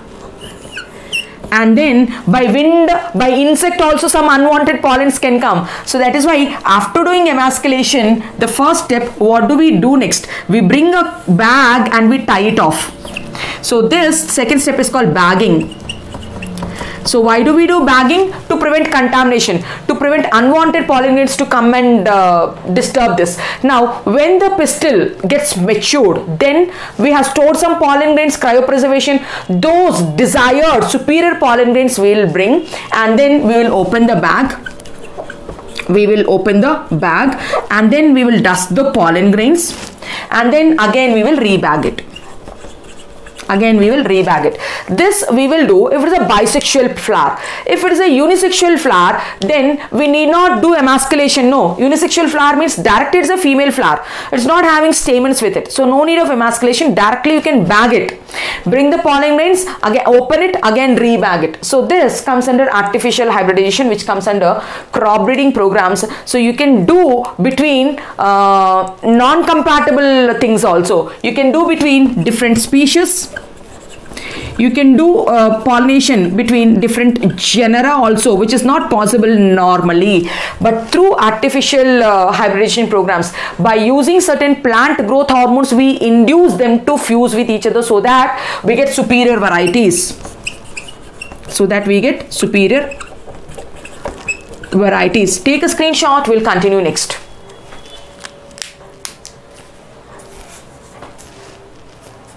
yes the next topic is double fertilization. After pollen pistil interactions, we told post-pollination events will happen and the pollen grain will reach inside.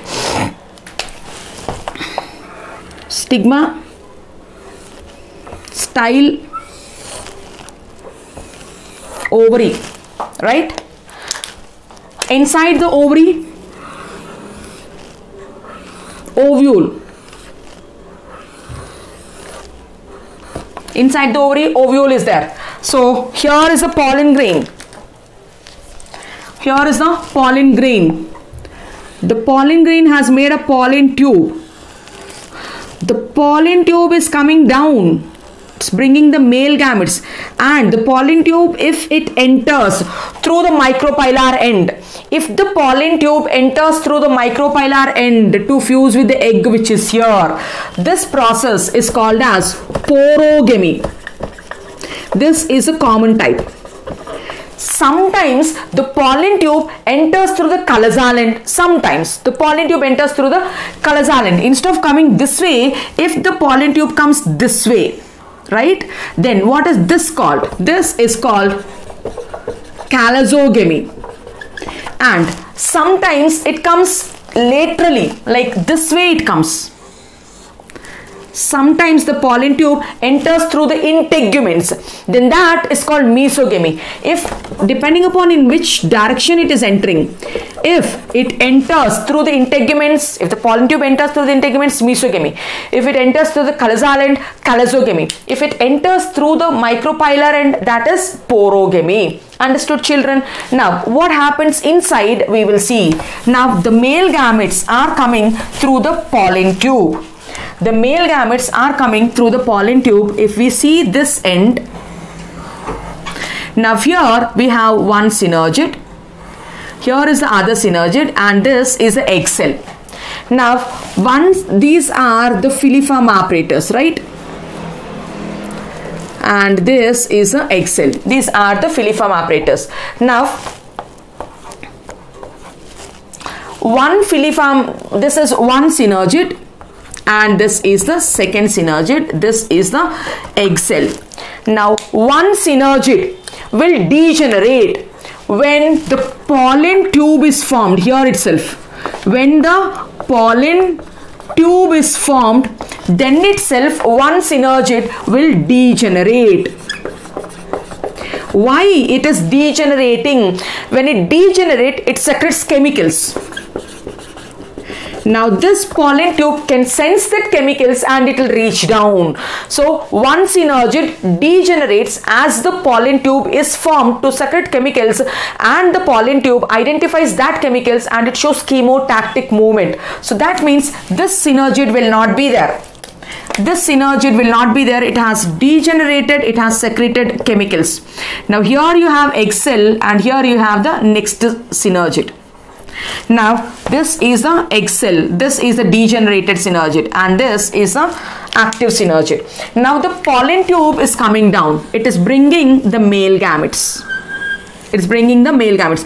So the second synergid it guides the pollen tube.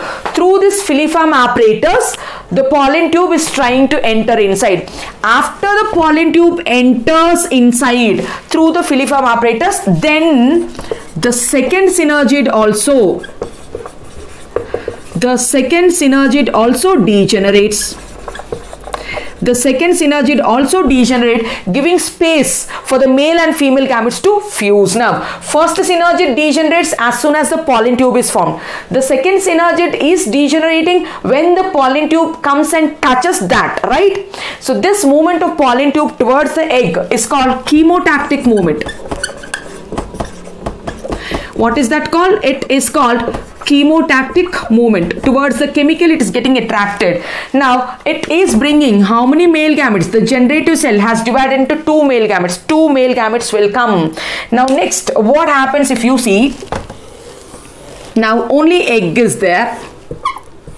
And here is a large central cell where two polar nuclei are there. And the pollen tube has brought two male gametes one male gamete and the second male gamete right? Now what happens? See carefully.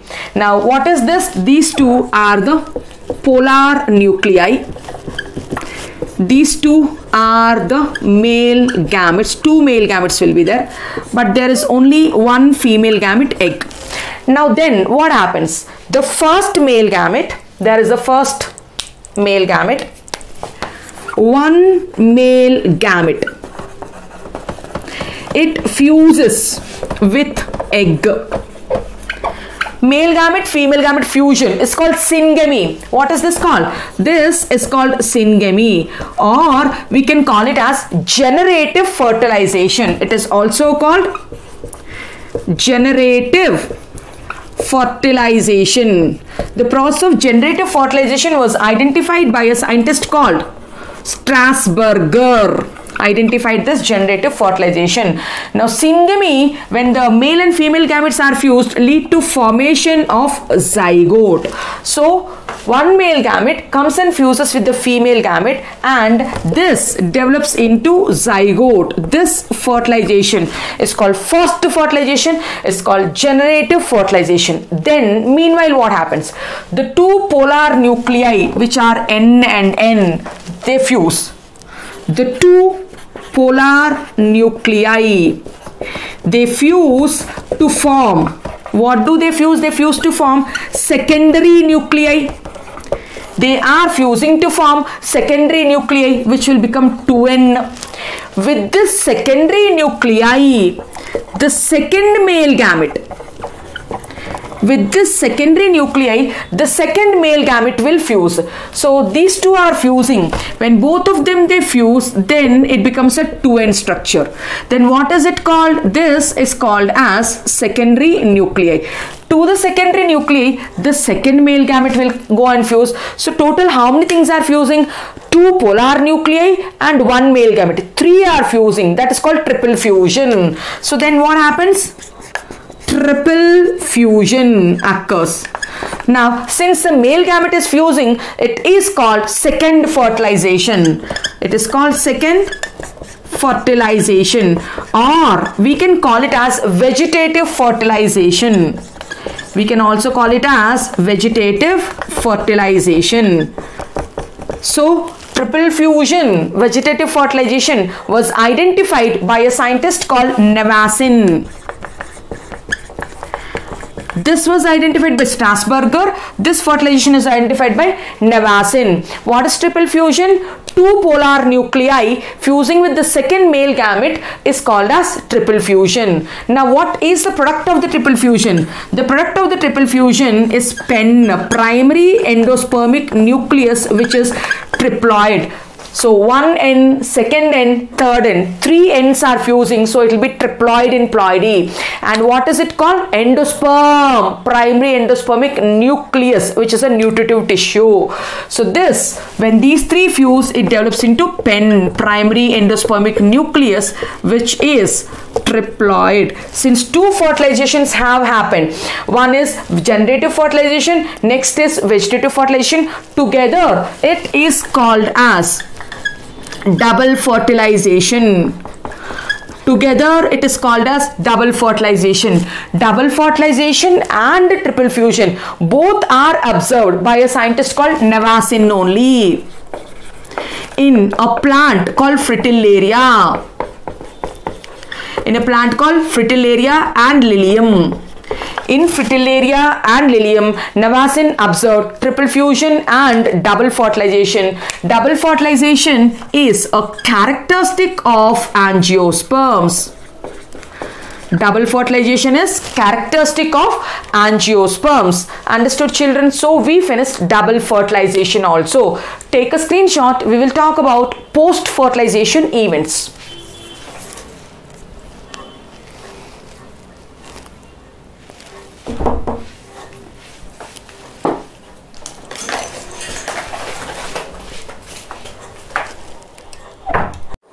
We'll discuss about post-fertilization events. Pre-fertilization, gametogenesis and gamete transfer we discussed. Fertilization also we discussed, right? So coming to post-fertilization event. In fertilization we told angiosperms have double fertilization. Coming to post-fertilization, there are four events under post-fertilization. The first event is endosperm development. The second event is embryo development. And the third event is ovary maturing into fruit and the fourth event is ovule maturing into seed. So endosperm formation is a post fertilization only and embryo developing embryo development also post fertilization only ovary converting into fruit also post fertilization only ovule developing into seed also post fertilization only. Under that the first side heading is endosperm formation. The diagrams which I have already took on the board are with embryo developments. We'll complete endosperm development and then we will go to embryo development. Now we have seen double fertilization. In double fertilization we discussed the second fertilization triple fusion where three nuclei will fuse. Two are the polar nuclei and the next one is the second male gamete.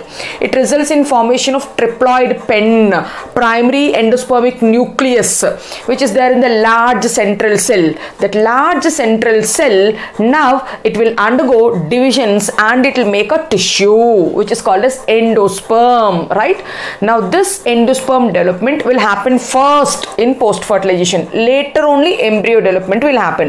So in NCERT they have given a sentence that endosperm development precedes embryo development. What do you mean by that statement? Means endosperm development will happen first embryo development will happen next. Why so?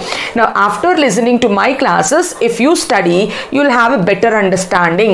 In the same manner when once the endosperm is developed this endosperm will be used as a nutritive tissue for the developing embryo to ensure nutrition embryo development will happen. Next endosperm development will happen first.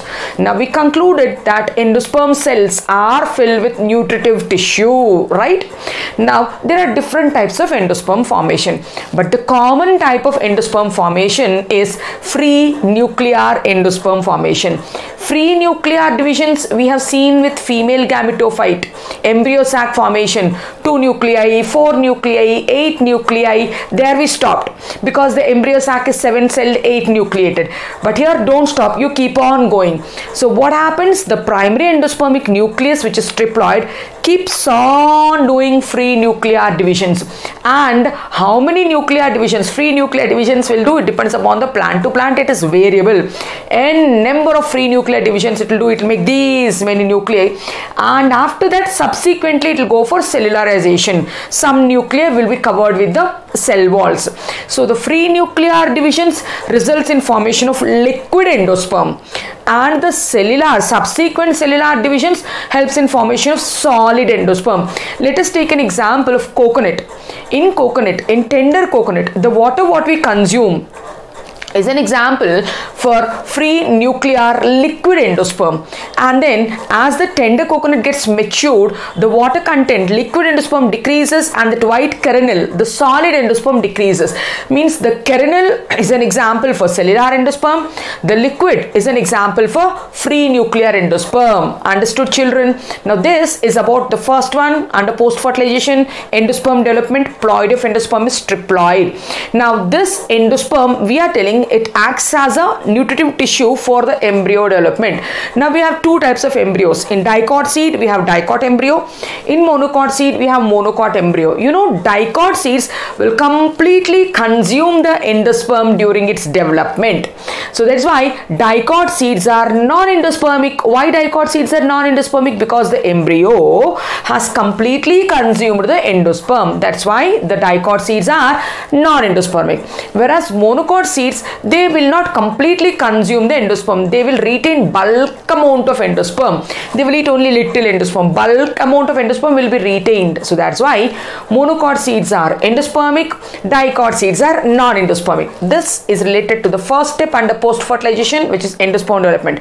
Now coming to the board, the second one is embryo development. Now we are going to talk about dicot embryo development and monocot embryo development. I divided the board into two parts. Now the first part this is dicot embryo development and this is monocot embryo development. Okay. Now in dicot embryo development we'll start with zygote this is zygote M represents the micropylar end, C represents the chalazal end. Now after fertilization when zygote is formed, the zygote undergoes a transverse division. It has undergone a transverse division. It's an unequal division, makes a bigger cell which is called as basal cell, which is also called suspensor cell, makes a smaller cell which is called terminal cell. It makes the embryo, so it is called as embryo cell and if this is a basal cell, then this is called as an apical cell. Apical cell is towards a chalazal end and uh, basal cell is towards a micropylar end. Now this basal cell will undergo repeated divisions and horizontal divisions, transverse divisions it will make and it will make 6 to 8 suspensor cells. So 1, 2, 3, 4, 5, 6, 7, 8. 6 to 8 suspensor cells. The last suspensor cell will swell up and it is called as haustorial cell.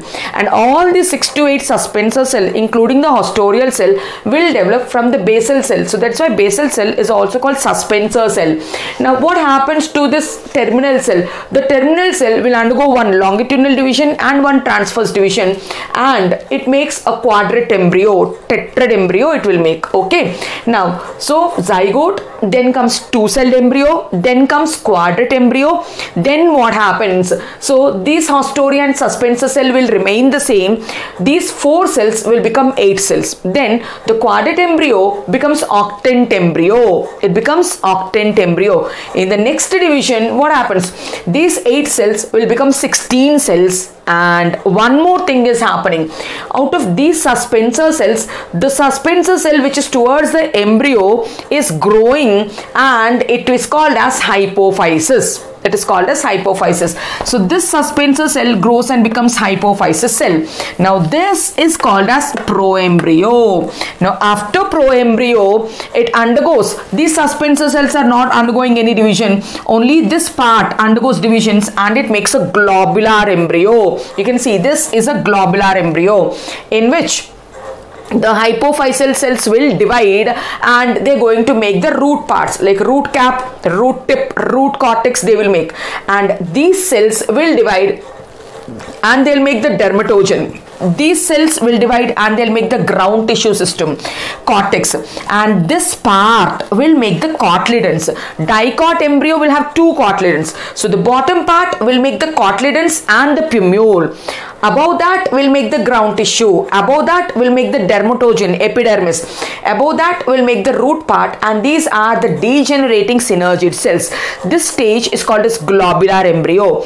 After the globular embryo what happens is this haustorial cell creates pressure on the globe and because of that pressure what happens? The globe splits into two parts and this is the next stage. This is called heart shaped embryo it is called heart-shaped embryo. Heart-shaped embryo is a characteristic feature of monocot embryo. It is a characteristic feature of, sorry, dicot embryo.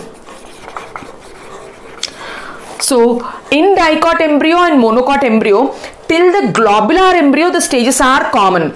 Afterwards only they'll take different steps. Now what is the different step we see in dicot embryo development? We see from globular embryo because of this haustorial pressure the globe is splitting now into two parts. Now which appears like a heart cordate shape. So it is called as heart shaped embryo or cordate embryo.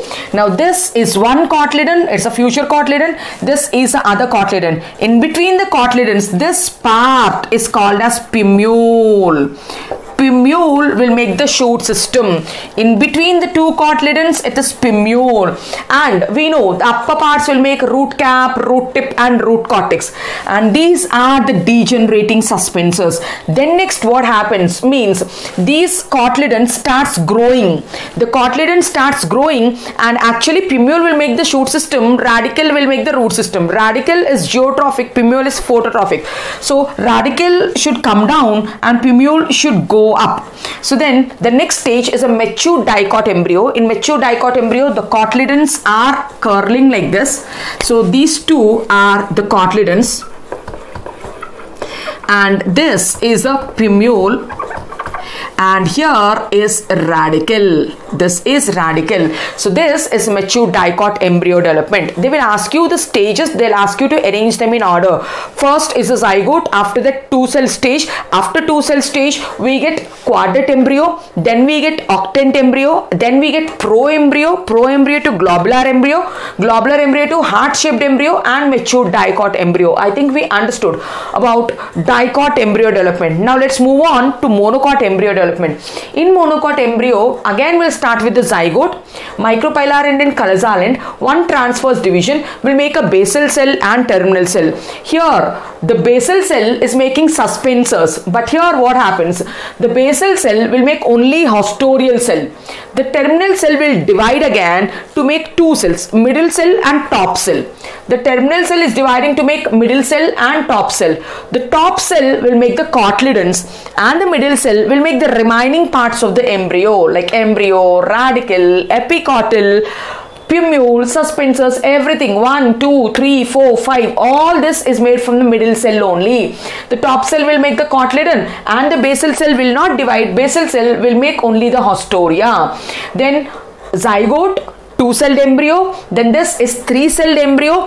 From there we are getting a globular embryo. In the globular embryo the haustoria is here. The middle cell has to make embryo has to make radicle has to make plumule from these regions. And this part is going to convert into cotyledon.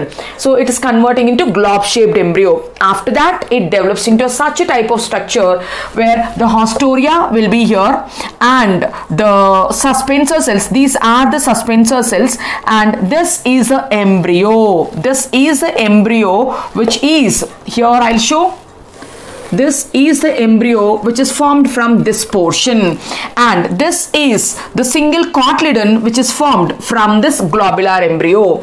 Now this part if you see this is the shoot tip. Shoot tip is covered by coleoptile. This is a root tip. Root tip is covered by coleorhiza. Monocot will have only one functional cotyledon, hood shaped cotyledon, right? What is that called? Scutellum. The single functional cotyledon of monocot is called scutellum. It has developed from the top cell from this globular part whereas the middle part, middle cell is making the embryo and the basal cell is making the haustoria. This in NCERT they have given us like this. This is a matured monocot embryo. In matured monocot embryo this I told cotyledon is towards one side and what is this called? Single functional cotyledon it is called as scutellum. The single functional cotyledon of monocot is called a scutellum. And what is this small tiny structure? It is the second degenerated cotyledon of the monocot. What is it's a degenerated cotyledon, vestigial. It is called as epiblast it is epiblast and this is the embryo in the embryo this represents the shoot tip shoot tip is covered by coleoptile right? And this is the root tip. And the root tip is covered by coleorhiza it is covered by coleorhiza so we finished endosperm development and we finished embryo development also. Now we are going to talk about ovary developing into fruit and ovule developing into seed. Take a screenshot. We will continue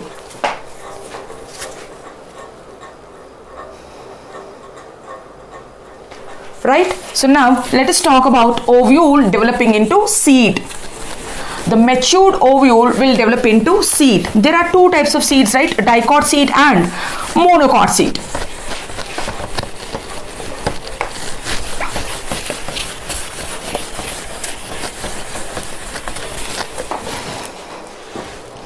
Yeah?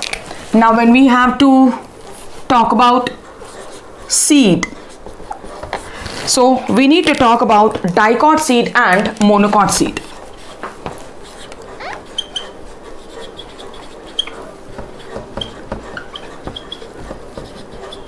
Now, what is seed? Seed is the end product of sexual reproduction. Seed is the final product of sexual reproduction, right? Now, the dicot seeds have two cotyledons on either sides and at the center it has embryonic axis. Now this is a embryonic axis. Now the portion of the embryonic axis which is attached to the cotyledons is this portion. It is called as tigellum the portion of the embryonic axis which is attached to the cotyledons is called as tigellum.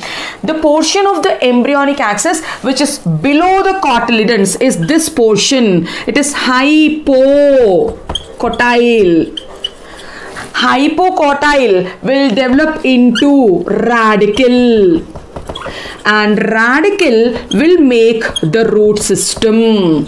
And if we have if we are looking on the top this portion of the embryonic axis is above the cotyledon. The portion of the uh, embryonic axis which is above the cotyledon is this portion. It is called epi above epicotyl epicotyl will develop into plumule and plumule will develop into shoot system now a dicot seed has such a type of structure.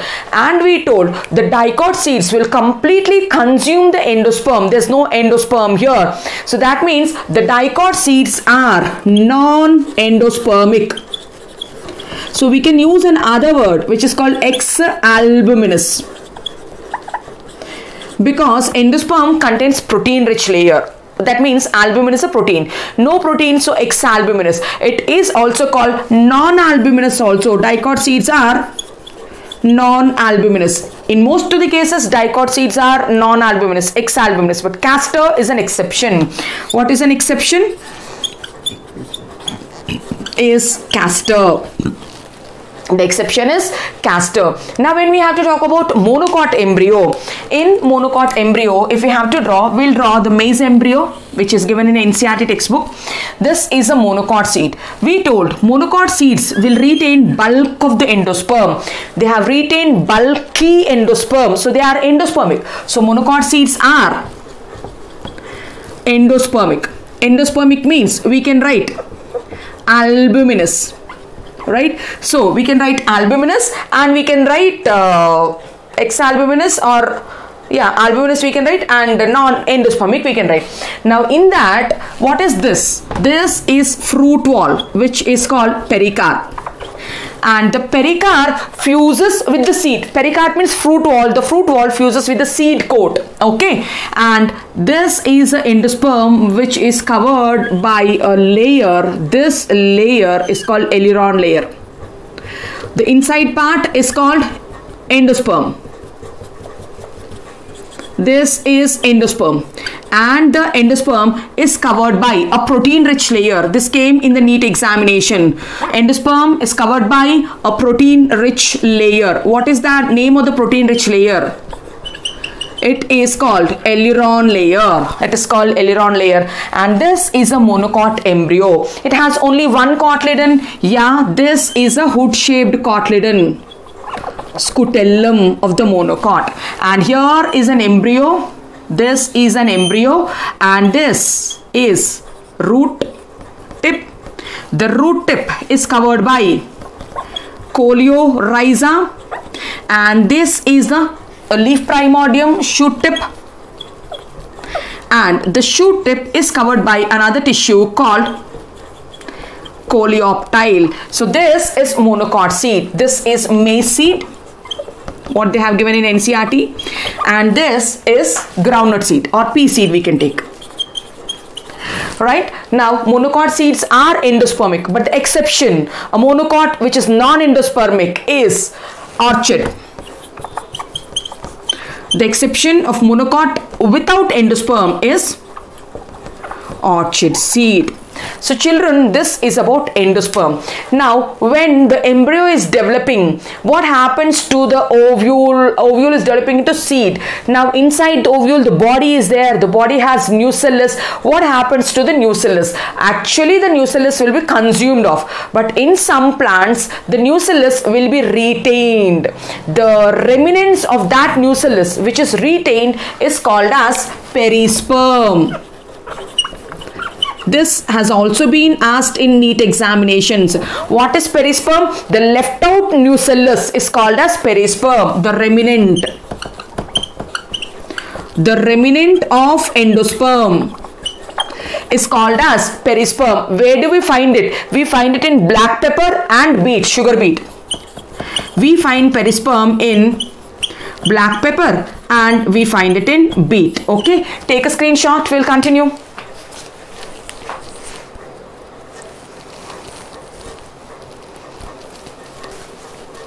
Right? So this is about seed.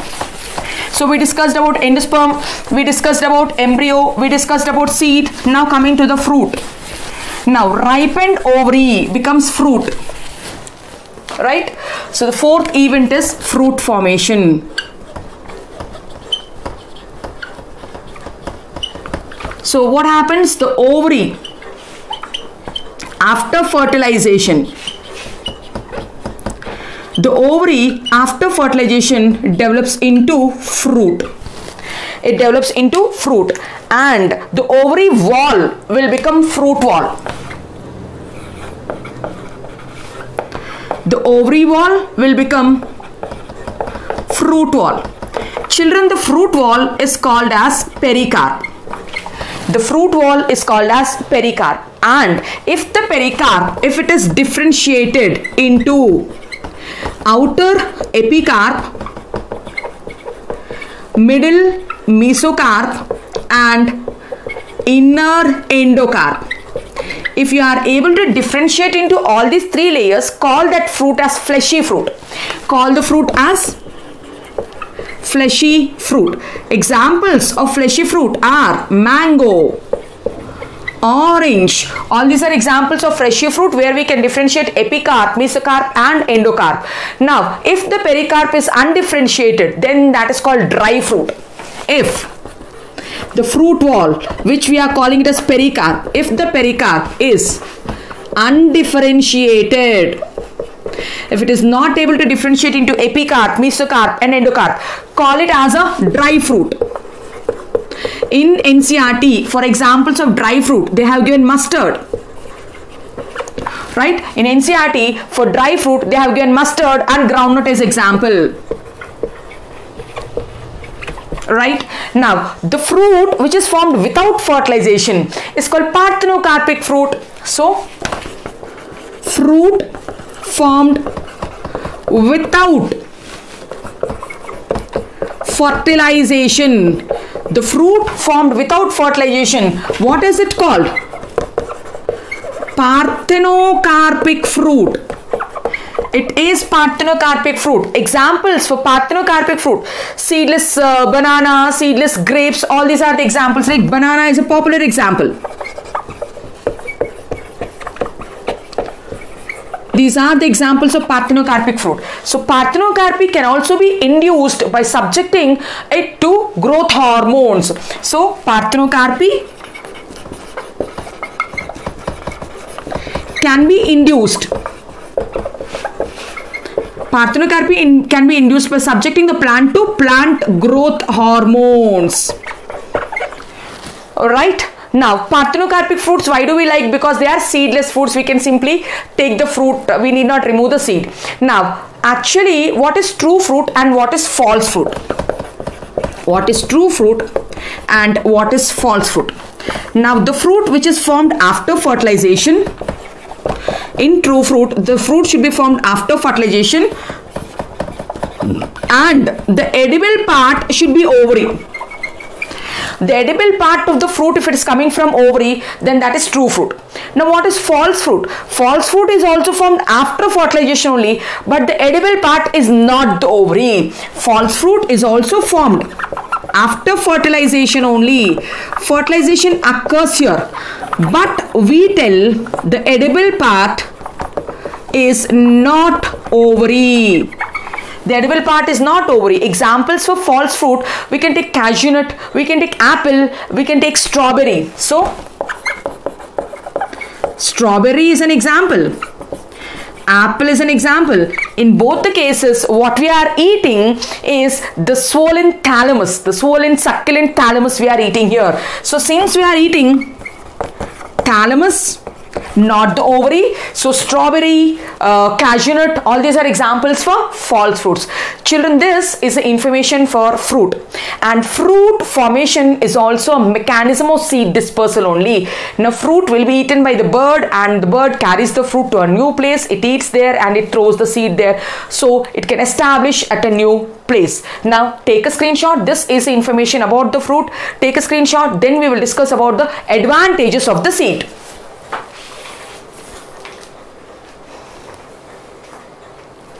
Right? Since we are telling seed is an end product of sexual reproduction. Now seed offers several advantages. Now if seed is there is not there then there is no agriculture. Now if we have to list down the applications of seed. If we have to list down the applications of seed the first application is seed is the basis for agriculture. Without seed we cannot assume agriculture. Seed is the end product of sexual reproduction. Show so it shows genetic combinations. It shows new combinations new variations which are required. Since seed is the end product of sexual reproduction since it is the end product of sexual reproduction it shows variations it shows genetic recombinations. This is another advantage. Now seeds they can be stored in dehydrated state. So it means they can uh, uh, they can retain dormancy they can retain dehydration. So we can tell seeds can tolerate dormancy and dehydration. Next step example. Seeds can retain dehydration and dormancy. So during unfavorable conditions, they are somehow surviving. Now seed uh, can uh, go to new places and it can establish and it is preventing competition. It can newly establish new habitats. So seed has better adaptive strategies to establish in new habitats.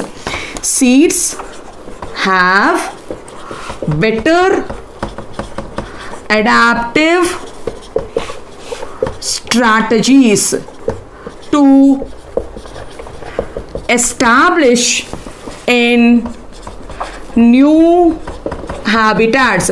So in the same habitat if it is there under the same tree if all the seeds will fall off there will be competition. These are the advantages of the seeds. Coming to seed viability. How long the seed can be viable? According to the recent records if you see there are two seeds which are having highest viability records. Now one is called lupinus arcticus. Lupinus arcticus is excavated from arctic tundra from a plant called lupine. It has germinated after completing completing 10,000 years of dormancy. This point came in the NEET examination. So Lupinus arcticus excavated from which place? Arctic tundra. Now it has completed 10,000 years of dormancy and then it germinated. Now the recent record is from the King Herod's palace near the Dead Sea. They've excavated one more. Archaeological people they've excavated one more. What is it called? Phoenix dactylifera, date palm. So that seed germinated after completing 2000 years of dormancy. Means the viability is 2000 for date palm. The viability is 10,000 for lupine. Right? So the last topic of the chapter is apomixis and polyembryony. Now, sexual reproduction is called as amphimixis because male and female gametes are fused it is called amphimixis a sexual reproduction is a type of sorry apomixis is a type of asexual reproduction which mimics sexual reproduction by producing seeds and the term apomixis was introduced by Winkler Winkler introduced the term apomixis. What is apomixis? It is a type of asexual reproduction. It is a type of asexual reproduction but it imitates but it mimics sexual reproduction by producing seeds by producing seeds. There are several ways to uh, make apomixis. For example, if you take a dicot egg has been formed without reduction division, that dicot egg can directly develop into embryo. Then that is a method of apomixis only. Okay. Now what is the advantage of apomixis now hybrid seed production is an expensive thing. And for a country like india uh, for a farmer in a developing country buying hybrid seeds is an expensive task. But hybrid seeds are giving good yield. But that hybrid seeds he will sow he'll get the fruit. In that fruit also seed will be there. That seed if he use he'll not get the same yield because seed is a product of sexual reproduction sexual reproduction happened so variations will come. So again and again the farmer has to buy the hybrid seeds if he has to get the higher yield. Now scientists are working out to make the hybrid seeds apomictic so that there will not be any segregation. Then the seeds without a, uh, a sex sexual reproduction they will continue and they will retain the characters. That is an advantage of apomixis what is the advantage of apomixis they are trying to convert the hybrid seeds into apomictic seeds if we convert the hybrid seeds into apomictic seeds then no variations will be there. If there are no variations then the farmer can use the same seeds again. He need not buy it. Coming to the next concept the last concept polyembryony. The concept of polyembryony was discovered by anton von Leeuwenhoek. He observed polyembryony in citrus and mango. Now, zygote develops into embryo, that is one embryo. One seed will have only one embryo. Sometimes the nucellar cells which are outside the embryo sac, they also develop into embryos. Then one seed will have many embryos. Open an orange seed, open a citrus seed. If you open that seed, remove the seed coat, you can find one, two, three, four, five, six. These many bits are there. Means these many embryos are there. How come these many embryos in one seed because from zygote one embryo came and the other embryos came from the nucellar cells that is polyembryony. So we find it in citrus and mango. Apomixis is seen in some members of Asteraceae, not all the members of Asteraceae, in some members of Asteraceae and in grasses it is found. What is the advantage of apomixis? Farmer need not buy the hybrid seeds again and again. What is the advantage of polyembryony? So many embryos will be there, so many plantlets can be developed many plantlets can be developed children we finish this chapter so if you like the content like share and subscribe to my channel in the next class we'll come out with a new chapter thank you